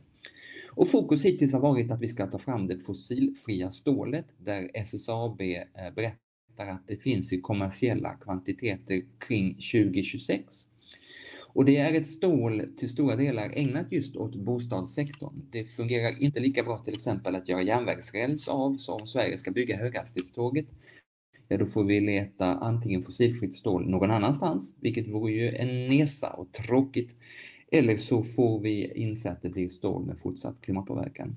Och vi ser att Skanska och andra aktörer, och ni känner säkert väl till det, tar nu fram cement och betong med väsentligt lägre klimatpåverkan. Och i nästa steg så ser vi att till exempel Heidelberg Cement, eller Cementa som de fortfarande heter också, ska ta fram CCS-teknik för cementen och vill vara först ut i detta. Och där är ju kopplingen till Norge högintressant därför att i närtid så tror vi att koldioxiden blir någonting som vi skickar till Norge och betalar Norge för att ta hand om så att vi gemensamt löser klimatutmaningen. där ju FNs klimatpanel står fast i nästan alla sina scenarier att ska vi klara klimatutmaningen då måste vi också plocka ner koldioxid ut ur skorstenarna ner i marken och kanske ut ur atmosfären rent av och ner i marken. Och Industriklivet vidgas och utökas nu och kommer att få större betydelse för bostadssektorn eh, framgent. Det tredje S i leken som jag vill nämna är sanering av förorenad mark. Där vi har oerhört stora gamla synder och skulder att bättre hantera. Och eh, det där är väldigt mycket i linje med det som jag inledde med att säga, att vi vill göra saker som ger jobb i Sverige. Och förorenad mark, det är per definition någonting som finns hos oss. Och det är någonting som är ganska arbetskraftsintensivt och direkt kopplat till nybyggandet av både bostäder och nya industriområden. Sammantaget ungefär en miljard svenska kronor i satsningen över ett, eh, ett antal år för att eh, hantera detta bättre och mer eh, sammanhållet. Och någonting som man tidigare har lite grann inte velat se utan tyckt att det där låter vi ligga. Så jag är lite stolt över denna faktiskt, att man äntligen tar tag i sånt som legat allt för länge. Det fjärde S i leken, och här tror jag att vi i Sverige verkligen har inspirerats av Norge, är en starkare satsning på gröna arbetsmaskiner. Där vi i Sverige länge har haft, inte länge men ett par år, haft ett bonus-malus-system för fordon med en kraftig bonus på de grönaste bilarna, elbilarna, hydrogenbilarna, finansierat av en kraftig malus på bilarna med högst utsläpp. Och nu gör vi en variant av det på arbetsmaskiner och andra tunga fordon med starkt fokus på eldrift och huvudsakligen en bonus till en början, alltså inte lika mycket jobb på malussidan. Och det här gör vi eh, inspirerade av när man i Norge ser gröna arbetsplatser där det bara är eldrivna eh, grävmaskiner till. Där har vi lärt oss tydligt från Norge att detta går att göra. Men vi gör det inte på exakt samma sätt. Vi gör det inte arbetsplats för arbetsplats utan vi gör det maskin för maskin och stimulerar en omställning där. Det finns mycket annat som jag skulle vilja nämna också, men jag nöjde mig med fyra. Vill ni kan jag fördjupa till exempel den utökade satsningen på solceller eller andra delar i omställningen. Men jag tyckte fyra var lagom att nämna. Och så är det tyvärr så, oss emellan, på en klimatfrukost, att det är inte så att allt ser jättebra ut, utan jag är inte lika nöjd med några andra delar i budgeten och det som känns absolut sämst, spader 2 för mig, är det kraftigt minskade anslaget i Sveriges statsbudget till klimaanpassning. Vi har ju sett förfärande bilder från delar av Norge med skred och liknande. Den här bilden är dock från Sverige, det händer hos oss också. Och sen har vi en klimaanpassning som handlar om bränder i våra för svensk ekonomi så viktiga skogar och den handlar om behov av att göra innerstadskärnor mindre torra, mindre varma, inte ha den här Urban City Heat Islands. Och ändå så nästan halveras statsanslaget till klimatanpassning, vilket är eh, mycket olyckligt eh, tycker jag och gör att man skickar tillbaks kortet och ansvaret till eh, kommunerna som i många fall inte har möjligheten att jobba systematiskt med detta. Jokern, slutligen i kortleken, är den cirkulära ekonomin där nu Naturvårdsverket får uppdrag att ta fram förslag på lagstiftning och instrument så att vi får en cirkulär ekonomi. Och det gör vi därför att vi inte alls är så bra som man ibland i omvärlden har för sig om Sverige. Det stod i Independent, Swedish recycling is so revolutionary the country has run out of rubbish. Och det stämmer att vi ibland importerar avfall för förbränning bland annat Norge och Storbritannien. Men eh, det är inte mycket till cirkularitet över det och vi ser framför oss, Avfall Sverige, branschorganet, också säger att det finns en bortre gräns för hur vi ska fortsätta att importera avfall för förbränning och hur vi ska fortsätta med de i grunden alltför linjära processerna. Så vi är inte så bra, men vi har numera en plan som togs fram av regeringen och lanserades den 10 juli och då glömmer alla bort det så att den återlanserades häromveckan bara. Där vi tar fram aktiviteter, resultat och eh, sätter tydliga långsiktiga effektmål för en cirkulär ekonomi eh, i Sverige.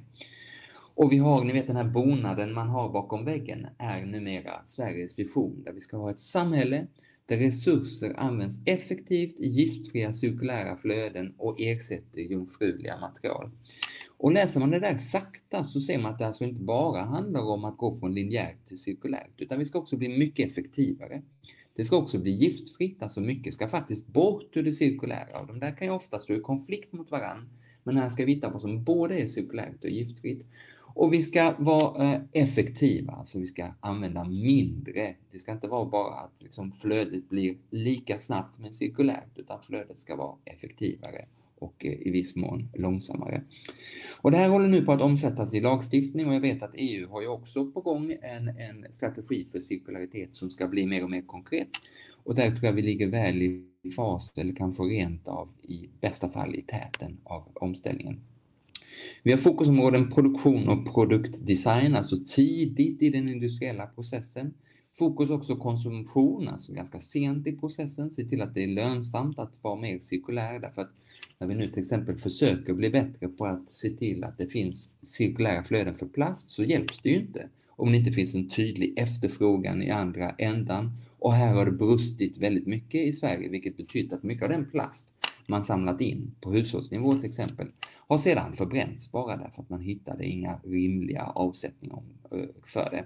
Och sen det giftfria som jag redan nämnde. Eh, med stark drivkraft att hitta innovativa affärsmodeller. Spännande för mig på Sweco, spännande för de tänketankers i Norge och Sverige som redan nämndes och tillsammans tror jag vi hittar nya och bättre affärsmodeller här.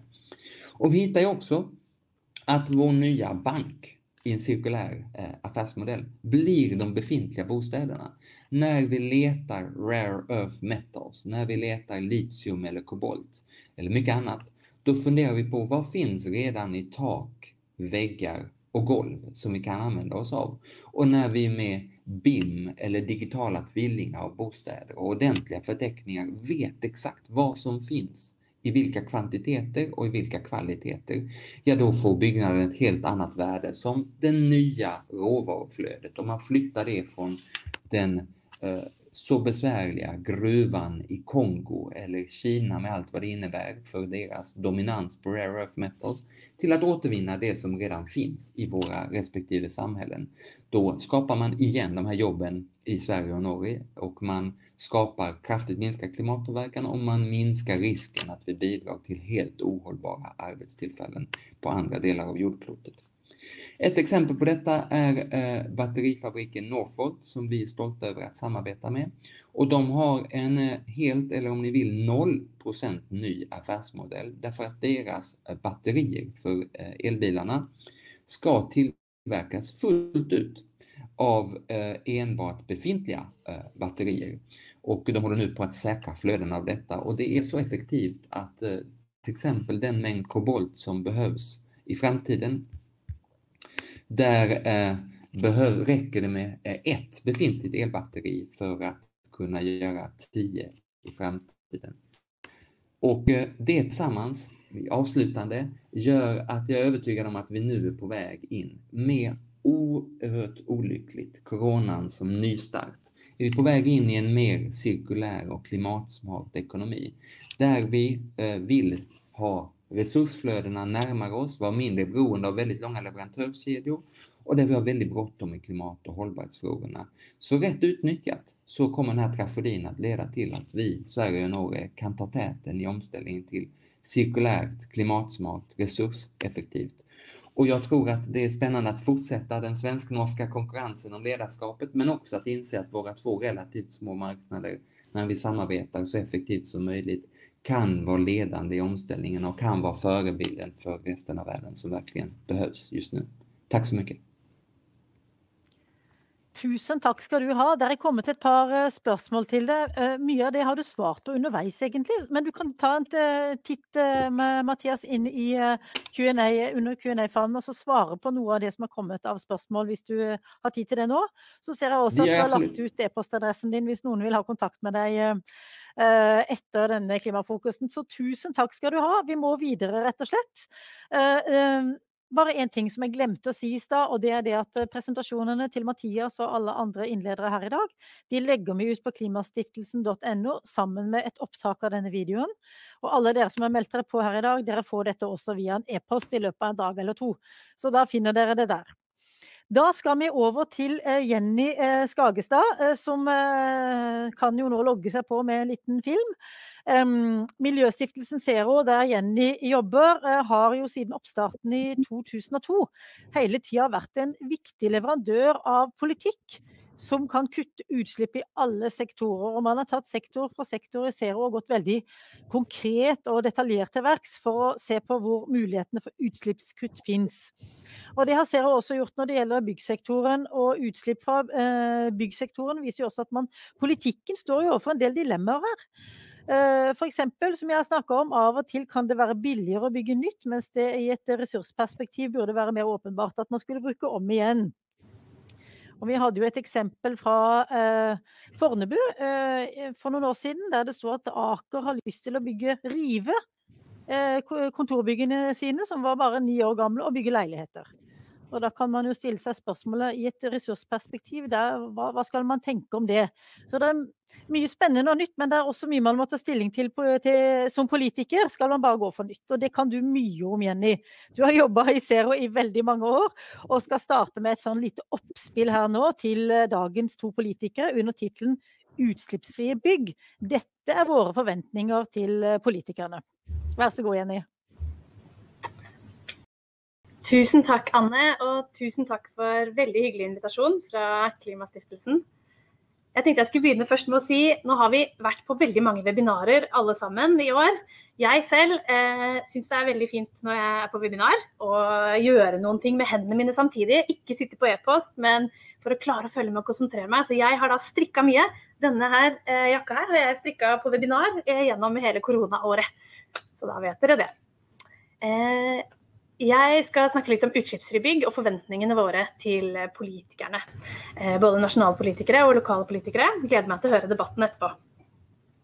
Men jeg tenkte at jeg skulle dvele litt ved et viktig poeng først. Og Det har blitt nevnt flere ganger i dag at i Norge så er det lite utslipp fra bygg i Norge. Direkte utslipp fra bygg i Norge er veldig små. Men det har jo ikke skjedd av seg selv. Så jeg vil gjerne fortelle kort litt om eh, hvor fantastisk det er at vi har klart å kutte disse direkte utslippene fra bygg. Her ser dere eh, min datter, hun er miljøagent. Eh, for tre år siden tok jeg dette bildet hvor hun gikk rundt og hang opp klistremerker og lapper på oljepåfyllingsrørene rundt omkring i bydelen hvor vi bor. Hun er utålmodig. Hun var lei av at folk fyrte opp husene sine, eh, varma opp med olje. Og eh, nå i første, i første 2020 så ble det jo forbudt med oljefyring. Og det skjedde jo ikke sånn over natta. Eh, det har vært kanskje tre eller flere tiår eh, med eh, langt og viktig arbeid, hvor kommunen har spilt en viktig rolle, hvor de har faset ut eh, oljefyring fra sine bygg hvor eh, kommunene har hjulpet innbyggerne og næringslivet med å fase ut, med å stille opp med informasjonskampanjer. Det har vært støtteordninger, Enova kom på banen med støtte etter hvert. Eh, det ble jobbet med mange ulike virkemidler. Og nå er vi altså ferdig med utslippet fra fossil oppvarming med olje i bygg. Det er noen bygg som står igjen, det er eh, landbruk, det er industri, men dette er det planer for. Og det er jo helt fantastisk. Vi må ta oss litt tid til å feire at det har vært mange viktige pådrivere som har fått til det. Jeg kan jo bare nevne som en liten kuriosa at i 1993 så var det hvor mange prosent av klimagassutslippene i Norge kom fra oljefyring. Kan dere tenke inn i hodet? Det var 20% Det var oljefyring til både industri og byggoppvarming. Det er ganske utrolig å tenke på at nå er vi kvitt nesten hele det utslippet en gang for alle. Og dette blir lagt merke til i utlandet. Når oljelandet Norge kan forby oljefyring, så er det godt gjort. Nå står det igjen litt fossil varme. Eh, fossil gass brukes fortsatt i en del bygg. Eh, det er et politisk mål om at det skal også fases ut, så det jobbes med det. Vi er utålmodige, vi syns ikke det går raskt nok, men fossil varme generelt skal helt ut. Og så er det jo sånn også at De siste to tiårene så har det blitt jobbet veldig godt med å skape bygg som bruker lite energi. Eh, vi har gått mange skritt der også, passivhus og etter hvert plusshus. Nå er det sånn at veldig mange bygg kan produsere mer energi enn de bruker selv. Der har vi også hatt veldig mange viktige aktører, eh, både innkjøpere, eh, byggenæringen selv og veldig mange ulike virkemidler, som nå gjør at vi har klart å gjøre det sånn at man ikke trenger å få tilført mye energi til et bygg for å drifte det. Det er jo også en ting som er viktig å feire, men dette har tatt tid. Det har tatt flere tiår. Noe som har gått ganske mye raskere, eh, er det å bli kvitt utslippene fra selve byggingen av byggene. Eh, her er et medieoppslag fra 2015 eh, hvor vi samarbeida med Sam Eide videregående i det som het Aust-Agder på den tiden. For vi så at i fylkeskommunen så var et av de store utslippene til Aust-Agder det var at man hadde en anleggslinje på videregående skolen hvor det ble brukt veldig mye diesel. Så begynte vi å spørre kan dere bruke biodiesel i stedet, kan dere tenke andre løsninger. Det var litt vanskelig i starten det å få garantien til å gjelde på maskinene når du skulle bruke et annet produkt enn den tradisjonelle fossile dieselen. Men der gikk altså Aust-Agder opp løypa, og alle maskinene ble kjørt på biodrivstoff etter hvert. Det er altså bare fem år siden, og året etter så lanserte Oslo at de skulle bygge en helt fossilfri anleggsplass for første gang. Eh, siden den gang så har det jo gått veldig raskt. Den aller første var i 2016, og allerede i 2019 så sier regjeringen at vi ønsker oss at alle byggeplasser skal være fossilfrie fra 2025. Nå skjer det mye rundt omkring i hele landet, og vi har også begynt å få noen piloter på helt utslippsfrie anleggsplasser, hvor man bruker elektriske maskiner og helt nye, smarte løsninger for å ta ned energiforbruket og ta helt utslippene helt ned i null. Eh, det skjer i kommune etter kommune, små og store, og i fylker og i staten rundt omkring i landet nå. Det er utrolig gøy å se. Jeg var på en leverandørutviklingskonferanse nylig eh, som veldig mange aktører sto bak, som handla om hvordan kan vi få helt utslippsfrie anleggsplasser. Og det bare myldra av gode prosjekter og mye iver eh, etter å få det her til. Så det er utrolig spennende å se. Eh, Oslo ser også på muligheten for å stille krav i reguleringsplanen, så ikke det bare blir deres egne bygg som skal ha krav på utslippskutt, men også eh, statlige og private. Det heier vi på. Men så er det jo sånn at nå har vi kutta en god del av utslippene men vi gjenstår eh, ganske store utslipp fra bygg- og anleggssektoren. 13 millioner tonn CO2 årlig når vi tar med både direkte og indirekte utslipp fra sektoren. Og Da er det jo utrolig viktig at vi tar med oss energien fra at vi har fasa ut oljefyring, vi har tatt ned energiforbruket i bygg, vi holder på å transformere hele anleggssektoren med å få til utslippskutt der også, inn i det nye, store behovet nå. Hvordan få ned utslippene fra materialene. Og da, eh, For å klare å få til den store innovasjonen og den kraften som skal til for å få dette til å skje framover, så trenger vi jo alle. Vi trenger de offentlige byggherrene, vi trenger de private. Vi trenger eh, ulike typer reguleringer og veiledninger, kompetanseheving, støtteordninger. Eh, og vi trenger ny tech for å få det til. Eh, men vi har jo da litt dårligere tid enn vi hadde med oljefyring, som tok tre tiår. Og med energieffektivisering, som har tatt 20 år. Eh, anleggsplassene har tatt fem år foreløpig, vi er ikke i mål. Men dette må skje raskere. Alle må begynne å stille krav til lave klimagassutslipp fra byggene allerede nå.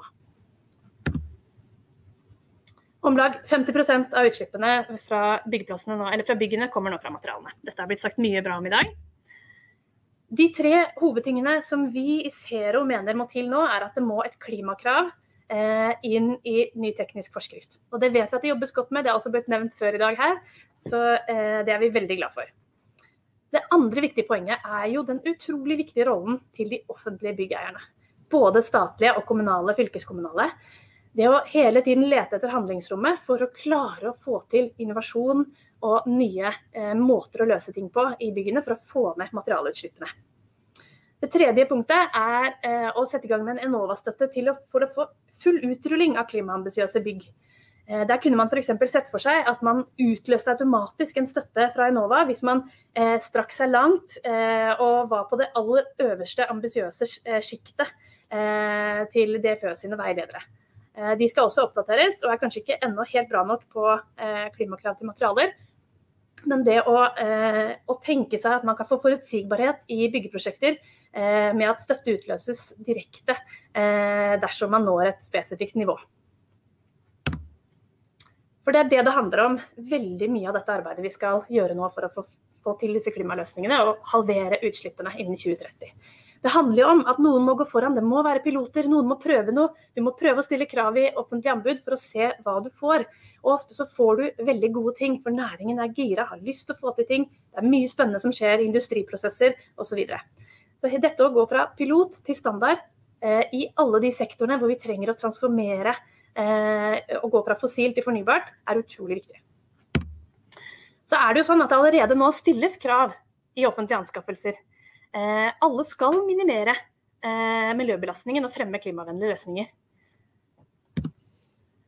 Vi mener at eh, alle nye offentlige bygg bør være i tråd med karbonbudsjettet i Parisavtalen. og Der har eh, Powerhouse-alliansen, som Zero også er med i, eh, vært med å lage ny, et forslag til Paris Proof Buildings. Og Byggebransjen er jo også med. Her ser vi et, et, innslag, et oppslag i media hvor mange viktige aktører, bl.a. Sveko, som Mathias snakka fra i stad, stiller krav, sier til Monica Mæland still krav til oss. Vi vil ha klimakrav til våre byggeprosjekter. Og det er utrolig spennende. Eh, vi har noen helt konkrete eh, poenger som vi mener er viktige når vi skal stille klimakrav i tech. Vi ønsker oss krav om eh, et visst antall CO2, kilo CO2 per kvadratmeter. Vi mener at det vil gi et helhetlig teknologinøytralt krav som bidrar til innovasjon innen alle materialgrupper, reduksjon av avfall fra nybygg og optimalisering av de byggene vi har for lavest mulig klimafotavtrykk. Vi mener at det bør være enkelt i starten, men trappes opp etter hvert for, for at bransjen skal kunne tilpasse seg. Vi mener man må bruke en karbonbudsjettmodell med gradvis innskjerping av kravene, og med dokumentasjonskrav, selvfølgelig.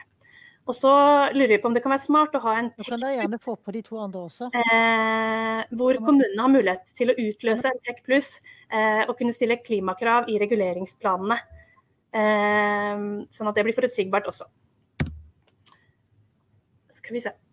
Der tror jeg jeg mista min presentasjon, Anne. Jeg har et par slide igjen. Ja, det var mystisk. Da Der, nå kom det tilbake. På, ja. du kan begynne å avrunde, Jenny. Ja, det skal jeg gjøre. Um, men mens vi venter på en bedre tech, så har uh, offentlige byggeiere en stor verktøykasse å bruke. Man, uh, har, vi har hørt mye om dette i dag, så jeg trenger ikke å gå inn på alle detaljene. Men det handler om å bygge smart, gjenbruke, ikke bygge hvis ikke du trenger, uh, stille gode krav osv. Og, så og det å ha god leverandørdialog for å få til Eh, eh, innovative anskaffelser for å løse problemene i markedet.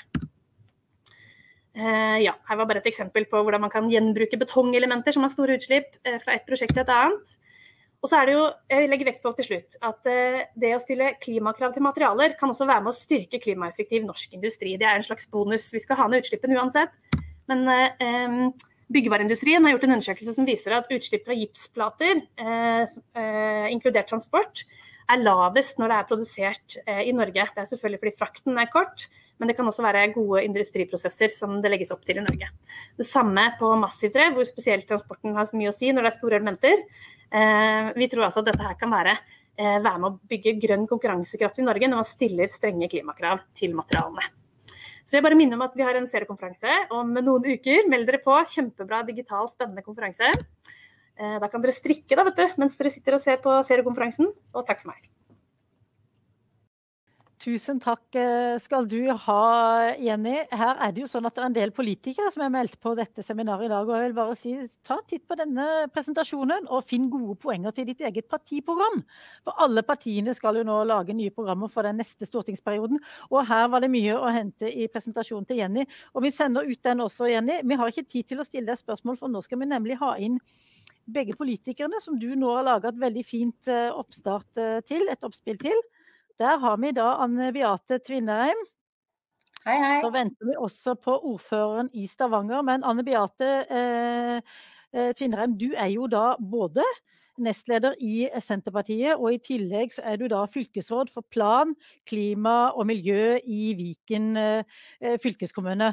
Og mens vi venter på ordføreren i Stavanger, Kari Nessa Nordtun, så kan vi jo da begynne med deg. Eh, nå har du sikkert hørt en god del av det som ble sagt. og Hvordan tenker eh, eh altså, dere som en stor offentlig innkjøper, da, Viken er jo en stor offentlig innkjøper, hvordan tenker man eh, at man kan være med og bidra til å få utslippene ned? Altså, jeg vil jo si at fylkeskommunen har uh, flere roller. Um, for det første så altså, man kan tenke på en måte to innganger. Det ene er jo den mer defensive inngangen. Hvordan uh, bidrar vi til å få utslipp av eh, Altså hvordan, hvordan, kan vi sørge for å på en måte sikre minimumskravet. Men jeg mener jo at det spennende må jo være hvordan vi kan bruke anskaffelser eh, for å presse fram eh, nye løsninger og innovasjon. Og det mener jeg er i tråd med da, en fylkeskommunes eh, samfunnsutviklerrolle. Og eh, hvis jeg skal da være helt eh, helt dønn ærlig, så handler jo det her om eh, to ting. Det handler om krav, og det handler om betalingsvilje. Sant? Og når vi snakker om krav, så er det da én politisk vilje til å stille krav, og kompetanse til å stille krav. Det mener jeg det er eh, flust av eh, rundt omkring i både kommuner og fylkeskommuner. Jeg føler at er, vi er veldig framoverlente og har lyst til å på en måte bane vei. Eh, kompetanse syns jeg Jeg føler iallfall at, eh, at eh, vi har tilgang på den kompetansen vi trenger hvis vi går inn for det. Og så er det betalingsviljen. Og Da kommer vi jo eh, ut i de eh, evinnelige utfordringene når hardt eh, står mot hardt. Og eh, fylkeskommuner og kommuner nå i disse tider skal kutte i budsjettene. Så, så det er jo eh, kort sagt eh, det vi står overfor. Da er det vel eh, litt sånn at man kan tenke at man kan kanskje utsette noen prosjekter noen år hvis man har dårlig råd. At man kan ta det mer med i planene, ikke alltid bare tenke på å bygge nytt. Hvordan tenker dere på dette i Viken? Kan man bruke det man har noen år til, og så se eh, om det finnes bedre løsninger på sikt, og rimeligere også? Ja, Det er som om jeg skulle sagt det sjøl. Det er klart at når vi bygger en videregående skole, eh, eller når vi går inn foretar store innkjøp f.eks. i utstyr da, til en videregående skole eller i, i, eh, i, uh, innenfor bygg og anlegg i, i veisektoren, vi har jo ansvar for fylkesveier også, så er det jo investeringer som skal ligge der i mange tiår. Så da er det kanskje greit å, å, å skyve litt eh, til vi har mulighet til å velge de beste løsningene. Og Det vil jeg si er inngangen som vi velger i Viken. Men, men, det viktigste føler jeg er å lage en systematikk politikk, eh, sånn at det ikke blir litt sånn eh, ja, noen, noen piloter og, og, utstillingsvinduer her og der.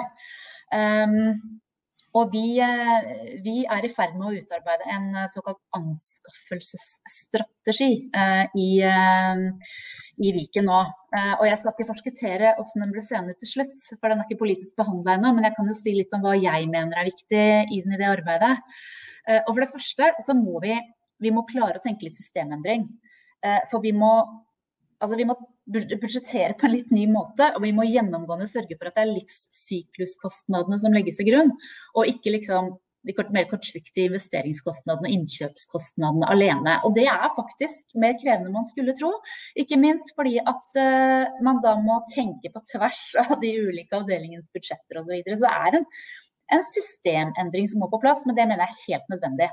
Uh, og så er det noen andre prinsipper da, som jeg uh, mener skal være bærende i en sånn anskaffelsesstrategi som vi jobber med. Uh, når vi bygger og utbedrer bygg og infrastruktur. Og det er for det første legge opp til å gjenbruke hele konstruksjoner og vernekonstruksjoner når det er mulig. Og så er det å sørge for funksjonalitet på en sånn måte at man enkelt kan gjenbruke hvis det er behov for ombygging. Og så er det å dele på ressurser og arealer og sørge for at de arealene vi bygger blir brukt så, av, så, så mange timer av døgnet som mulig.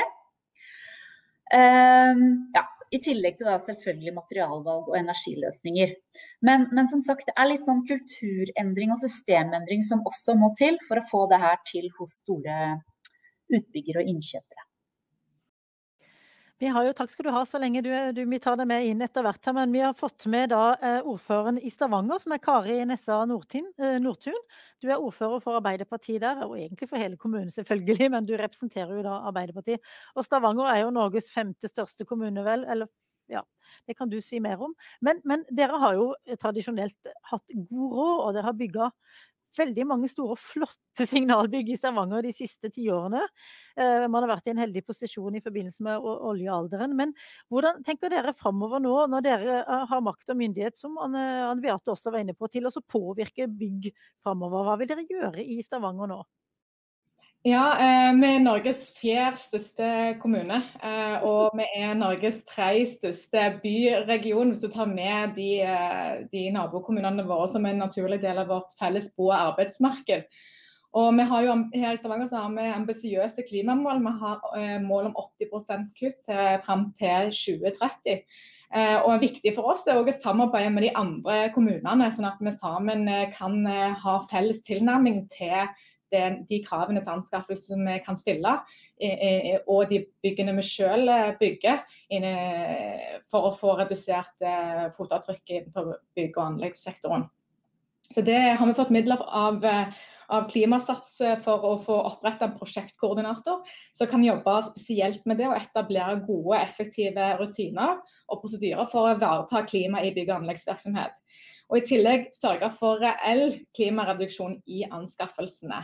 Eh, og, og eh, ta tidlig deltakelse i planprosessen er, ser vi er veldig viktig for å få reell eh, reduksjon. Og så, så, dette her ligger ganske viktig for oss, det er samarbeid med naboliggende kommuner om å få det til. For det har jo ikke nødvendigvis vært uh, situasjonen i Norge de siste tiårene. Hver, hver kommune har jobba mer som en slags øy. Så mm. det hadde vært interessant å høre mer om dette etter hvert som dette barker i vei, og som dere går fram for å få til dette samarbeidet. Og er det sånn da at man ser for seg at kommunene sammen skal f.eks. bli en egen bestiller? At man bestiller sammen som en mye større aktør enn en liten kommune eller en også fjerde største kommune kan være alene?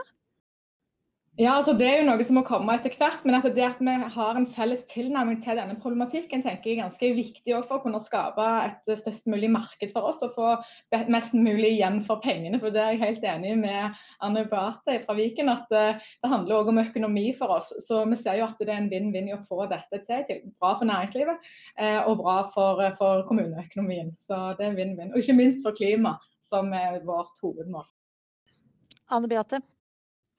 Ja, um, jeg nevnte kompetanse som en av måte, de tre kriteriene som er, er en forutsetning her.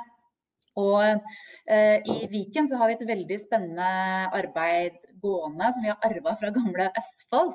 Som handler om klimarådgivning i anskaffelser. Hvor vi da sammen med kommuner i Østfold, og nå skal det gjelde hele Viken på sikt, Eh, gir eh, Altså vi lager rett og slett et nettverk av kommuner som kan få klimarådgivning når de skal, eh, klimarådgivning når de skal gjøre anskaffelser. Og vi har så langt hatt kjempegode resultater når det gjelder klimarådgivning på anskaffelse av maskiner, anleggsmaskiner osv. Og, så og vi har også da gitt kommunene muligheten til å låne eh, maskiner gratis for å teste ut, før de da går til den store eh, anskaffelsen og kostnaden det er.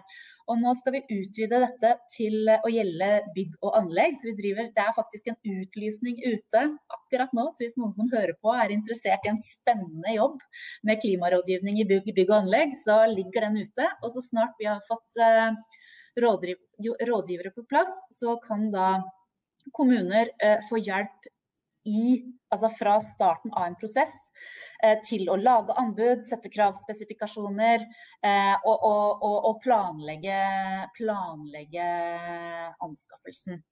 Eh, fordi at eh, i, eh, i, klimavennlige innkjøp og anskaffelser så vet vi jo at det, det, det, forarbeidet er utrolig viktig. Vi har hatt et samarbeid eh, også mellom kommuner når det gjelder bruk av massiv tre. Eh, som også hadde utspring i Østfold, hvor flere kommuner da har hjulpet hverandre når de skulle bygge i, i eh, massivt tre.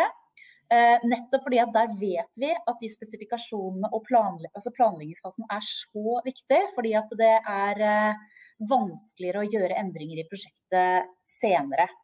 Og det er klart at På den måten så gjør vi kommunene tryggere, vi, og, og, vi reduserer risikoen. Og åpner åpner markedet for den type løsninger. Da. Det er veldig veldig spennende, og vi har sett gode resultater på det. Bare et spørsmål til deg, eh, Kari Nessa Nordtun. Det, det, det, har jo vært sånn de siste åra at man har tenkt på luftfarten og stål og sement som tre på en måte områder der det er veldig vanskelig å komme ned til null. Men så ser mm. man nå at det er mye bra på gang når det gjelder både stål og sement, og for den slags skyld også luftfarten. Men um, jeg tenker på dette når dere skal bygge nye uh, bygg i Stavanger. Mm. Hvordan kan dere stille krav til akkurat dette med stål og sement? Kan man være villig til å på en måte bruke mer midler for å være en slags førstekunde, eller ja, en viktig kunde for de som, er, som skal produsere uh, utslippsfrie stål og sement? Ja, altså, Vi har vedtatt for at vi alltid skal vurdere bruk av tremateriale i våre kommunale byggeprosjekter. Det er viktig, viktig for oss. Eh, og mange private aktører, f.eks. Eh, Sparebank1, eh, storbanken her, de har jo bygd et, Norges største næringsbygg i tre. Fantastisk bygg. og vi har til og med i sentrumsplanen vår, som vi jobbet med i syv år, så har vi òg lagt inn selv om vi også driver og undersøker sånn som Jenny var inne på Oslo, så undersøker handlingsrommet sitt i forhold til å ta dette inn i reguleringsplaner til private aktører, så har vi tatt det inn i vår sentrumsplan som en sånn anmodning om å i, som hovedregel bruke tre eh, som, eh, som, byggmateriell. Så, så, vi er hele tiden på, på jakt etter å ha de mest miljøvennlige materialene materialene i de nybyggene som kommer. Og ikke minst dette, så er det viktig for oss å se på gjenbruk av masser og materialer. Og det å få til nasjonal endring der, som gjør at en kan eh, eh, gjenbruke mer. Eh, litt av det som Jenny var inne på, det, det, er statlige regler som stenger oss for å kunne gjøre det. Eh, og at det òg staten legger til rette for, eh, for økonomiske incitament, sånn at vi kan få stimulere til økt gjenbruk av masser og materialer. Så det er noe som er viktig for oss, spesielt framover. Du sa mm. dette med staten og hvilken rolle den har. og da er det jo sånn at Partiene bestemmer jo litt hva staten også skal stå for. sånn at Dette er jo en oppgave også for partiene på sentralt hold å ta med inn i stortingsvalgprogrammet nå den neste fireårsperioden, som blir ekstremt viktig hvis man skal mm. klare å redusere utslippene også fra bygg. Eh, men en ting eh, som, eh, som jeg vil bare spørre deg om, Anne Beate. Dette med tre som, som Kari var inne på nå. Det er jo blitt så populært, og det har vært på en måte konkurranser internasjonalt om å bygge bygge det høyeste trehuset osv. Eh, kan du si litt mer om hvordan det, dette ligger an i Viken? Det må jo være en politikk som passer godt inn i ditt parti sitt program også? Det er, det er, helt riktig. Og jeg føler jo at det er, det, er, det er, utrolig mye på gang når det gjelder, gjelder massivt tre. Men det som er viktig nå, er jo at vi går over til å bruke tre i bærende konstruksjoner. Så det holder jo ikke at vi bare bruker det i fasade. Mm. Eh, og um, i Viken så har vi jo f.eks. en produsent, Splitcon, som ligger på Åmot. Eh, og det er eh, Jeg syns jo det er veldig, veldig viktig at vi eh, driver på en måte aktiv legger, legger, til rette for at uh, norske produsenter uh, som bruker norsk råvare, da kan, uh, kan vokse. For inntil nylig så var det jo stort sett import av mange av disse elementene. Så det synes jeg er veldig spennende. og Der har jo også vi som fylkeskommune en, en rolle i næringsutvikling. Men det er klart at selv om vi går over til å bygge enda mer bærende konstruksjoner i tre, så vil det fortsatt være behov for betong og stål. Og og da igjen er vi jo tilbake på pris. Og jeg mener at offentlige aktører på alle nivåer der kan jo Vi kan ta en rolle eh, hvis vi klarer å samarbeide for å skape et marked og en betalingsvillighet da, for betong som er altså enten lav, lavkarbonbetong da, til å begynne med, eller da på sikt CCS-betong. Men det er et kostnadsspørsmål. Eh, og, og, her tenker jeg at eh, staten og, og lokalt nivå må, må, rett og slett klare å samarbeide. Men, men, det er jo det som er løsningen, å skape et marked for den, altså betalingsvillighet for den betongen. Men du var inne på noe interessant her også, Kari Nestad Nordtun. Dette med å stille krav til de private aktørene. Mm. For de investerer jo også uh, veldig mye i løpet av et år, hvis du ser hele Norge under ett. Og du snakker om at dere hadde stilt krav til uh, at det skal være tre i sentrum av Stavanger. Det er jo omtrent som å gå tilbake til fortiden der det var mye tre i Stavanger sentrum før. Men kan man se for seg at dette blir enda strengere framover? Ja, altså eh, vi, Stavanger er jo Europas best bevarte trehusbebyggelse her, så vi er jo veldig stolte over dette. Og vi også jo dette i tillegg til at det er klimavennlig så også kan sikre bedre enn norsk industri, så, så ser vi jo òg at det er med på å bygge opp under trehusbyhistorien eh, vår, da. Eh, og gjør den òg tilpassa vår tid. Så det har vært mye vinn-vinn. Men vi så jo litt sånn som Jenny var inne på, at vi, vi er litt usikre på hvilket handlingsrom vi har til å på en måte kreve det i reguleringsarbeidet. Derfor var det i hvert fall viktig for oss i sentrumsplanen å komme med et signal. Om ikke vi kan gi bøter hvis det ikke blir overholdt, for å si det sånn, så, så er det i hvert fall et viktig signal. sånn at en, en tilstreber å etterspørre det hver gang en har kontakt med private utbyggere, og håper at de kan komme på. Men, men der skulle vi òg gjerne fått eh, drahjelp fra statlig hold for å få sikra eh, at eh, det er mulighet for oss å håndheve en, en sånn bestemmelse. Det hadde vært eh, viktig eh, for oss. Det er jo erfaring som man har hørt før i denne klimafrokosten på at å stille krav om nullutslipp, f.eks., eller dette med å fase ut olje det fra, eh, som fyringsmiddel, det gir jo resultater. Så da er jo også kanskje oppfordringen til dere politikere på høyt nivå still strenge krav til også de private utbyggerne. Men vi har ett spørsmål igjen, for vi skal eh, runde av her nå om et minutt. Og det gjelder rett og slett til deg, Anne Beate Tvinnereim. Eh, I Viken, da dere inngikk denne samarbeidsavtalen etter forrige valg, så bestemte dere at man ikke skulle bygge et eh, svært nytt fylkeshuset i Sandvika. Nå er det stilt at dere heller skulle bruke det dere hadde. Nå er det stilt spørsmål om dette i media. Skal dere bygge nytt allikevel? Og, ja, kan du fortelle litt om det veldig kjapt? Ja, det er jeg veldig glad for å få lov til å fortelle om. Nei, det er helt riktig. Vi har i vår politiske plattform at det ikke skal bygges noe hovedkvarter i Vika.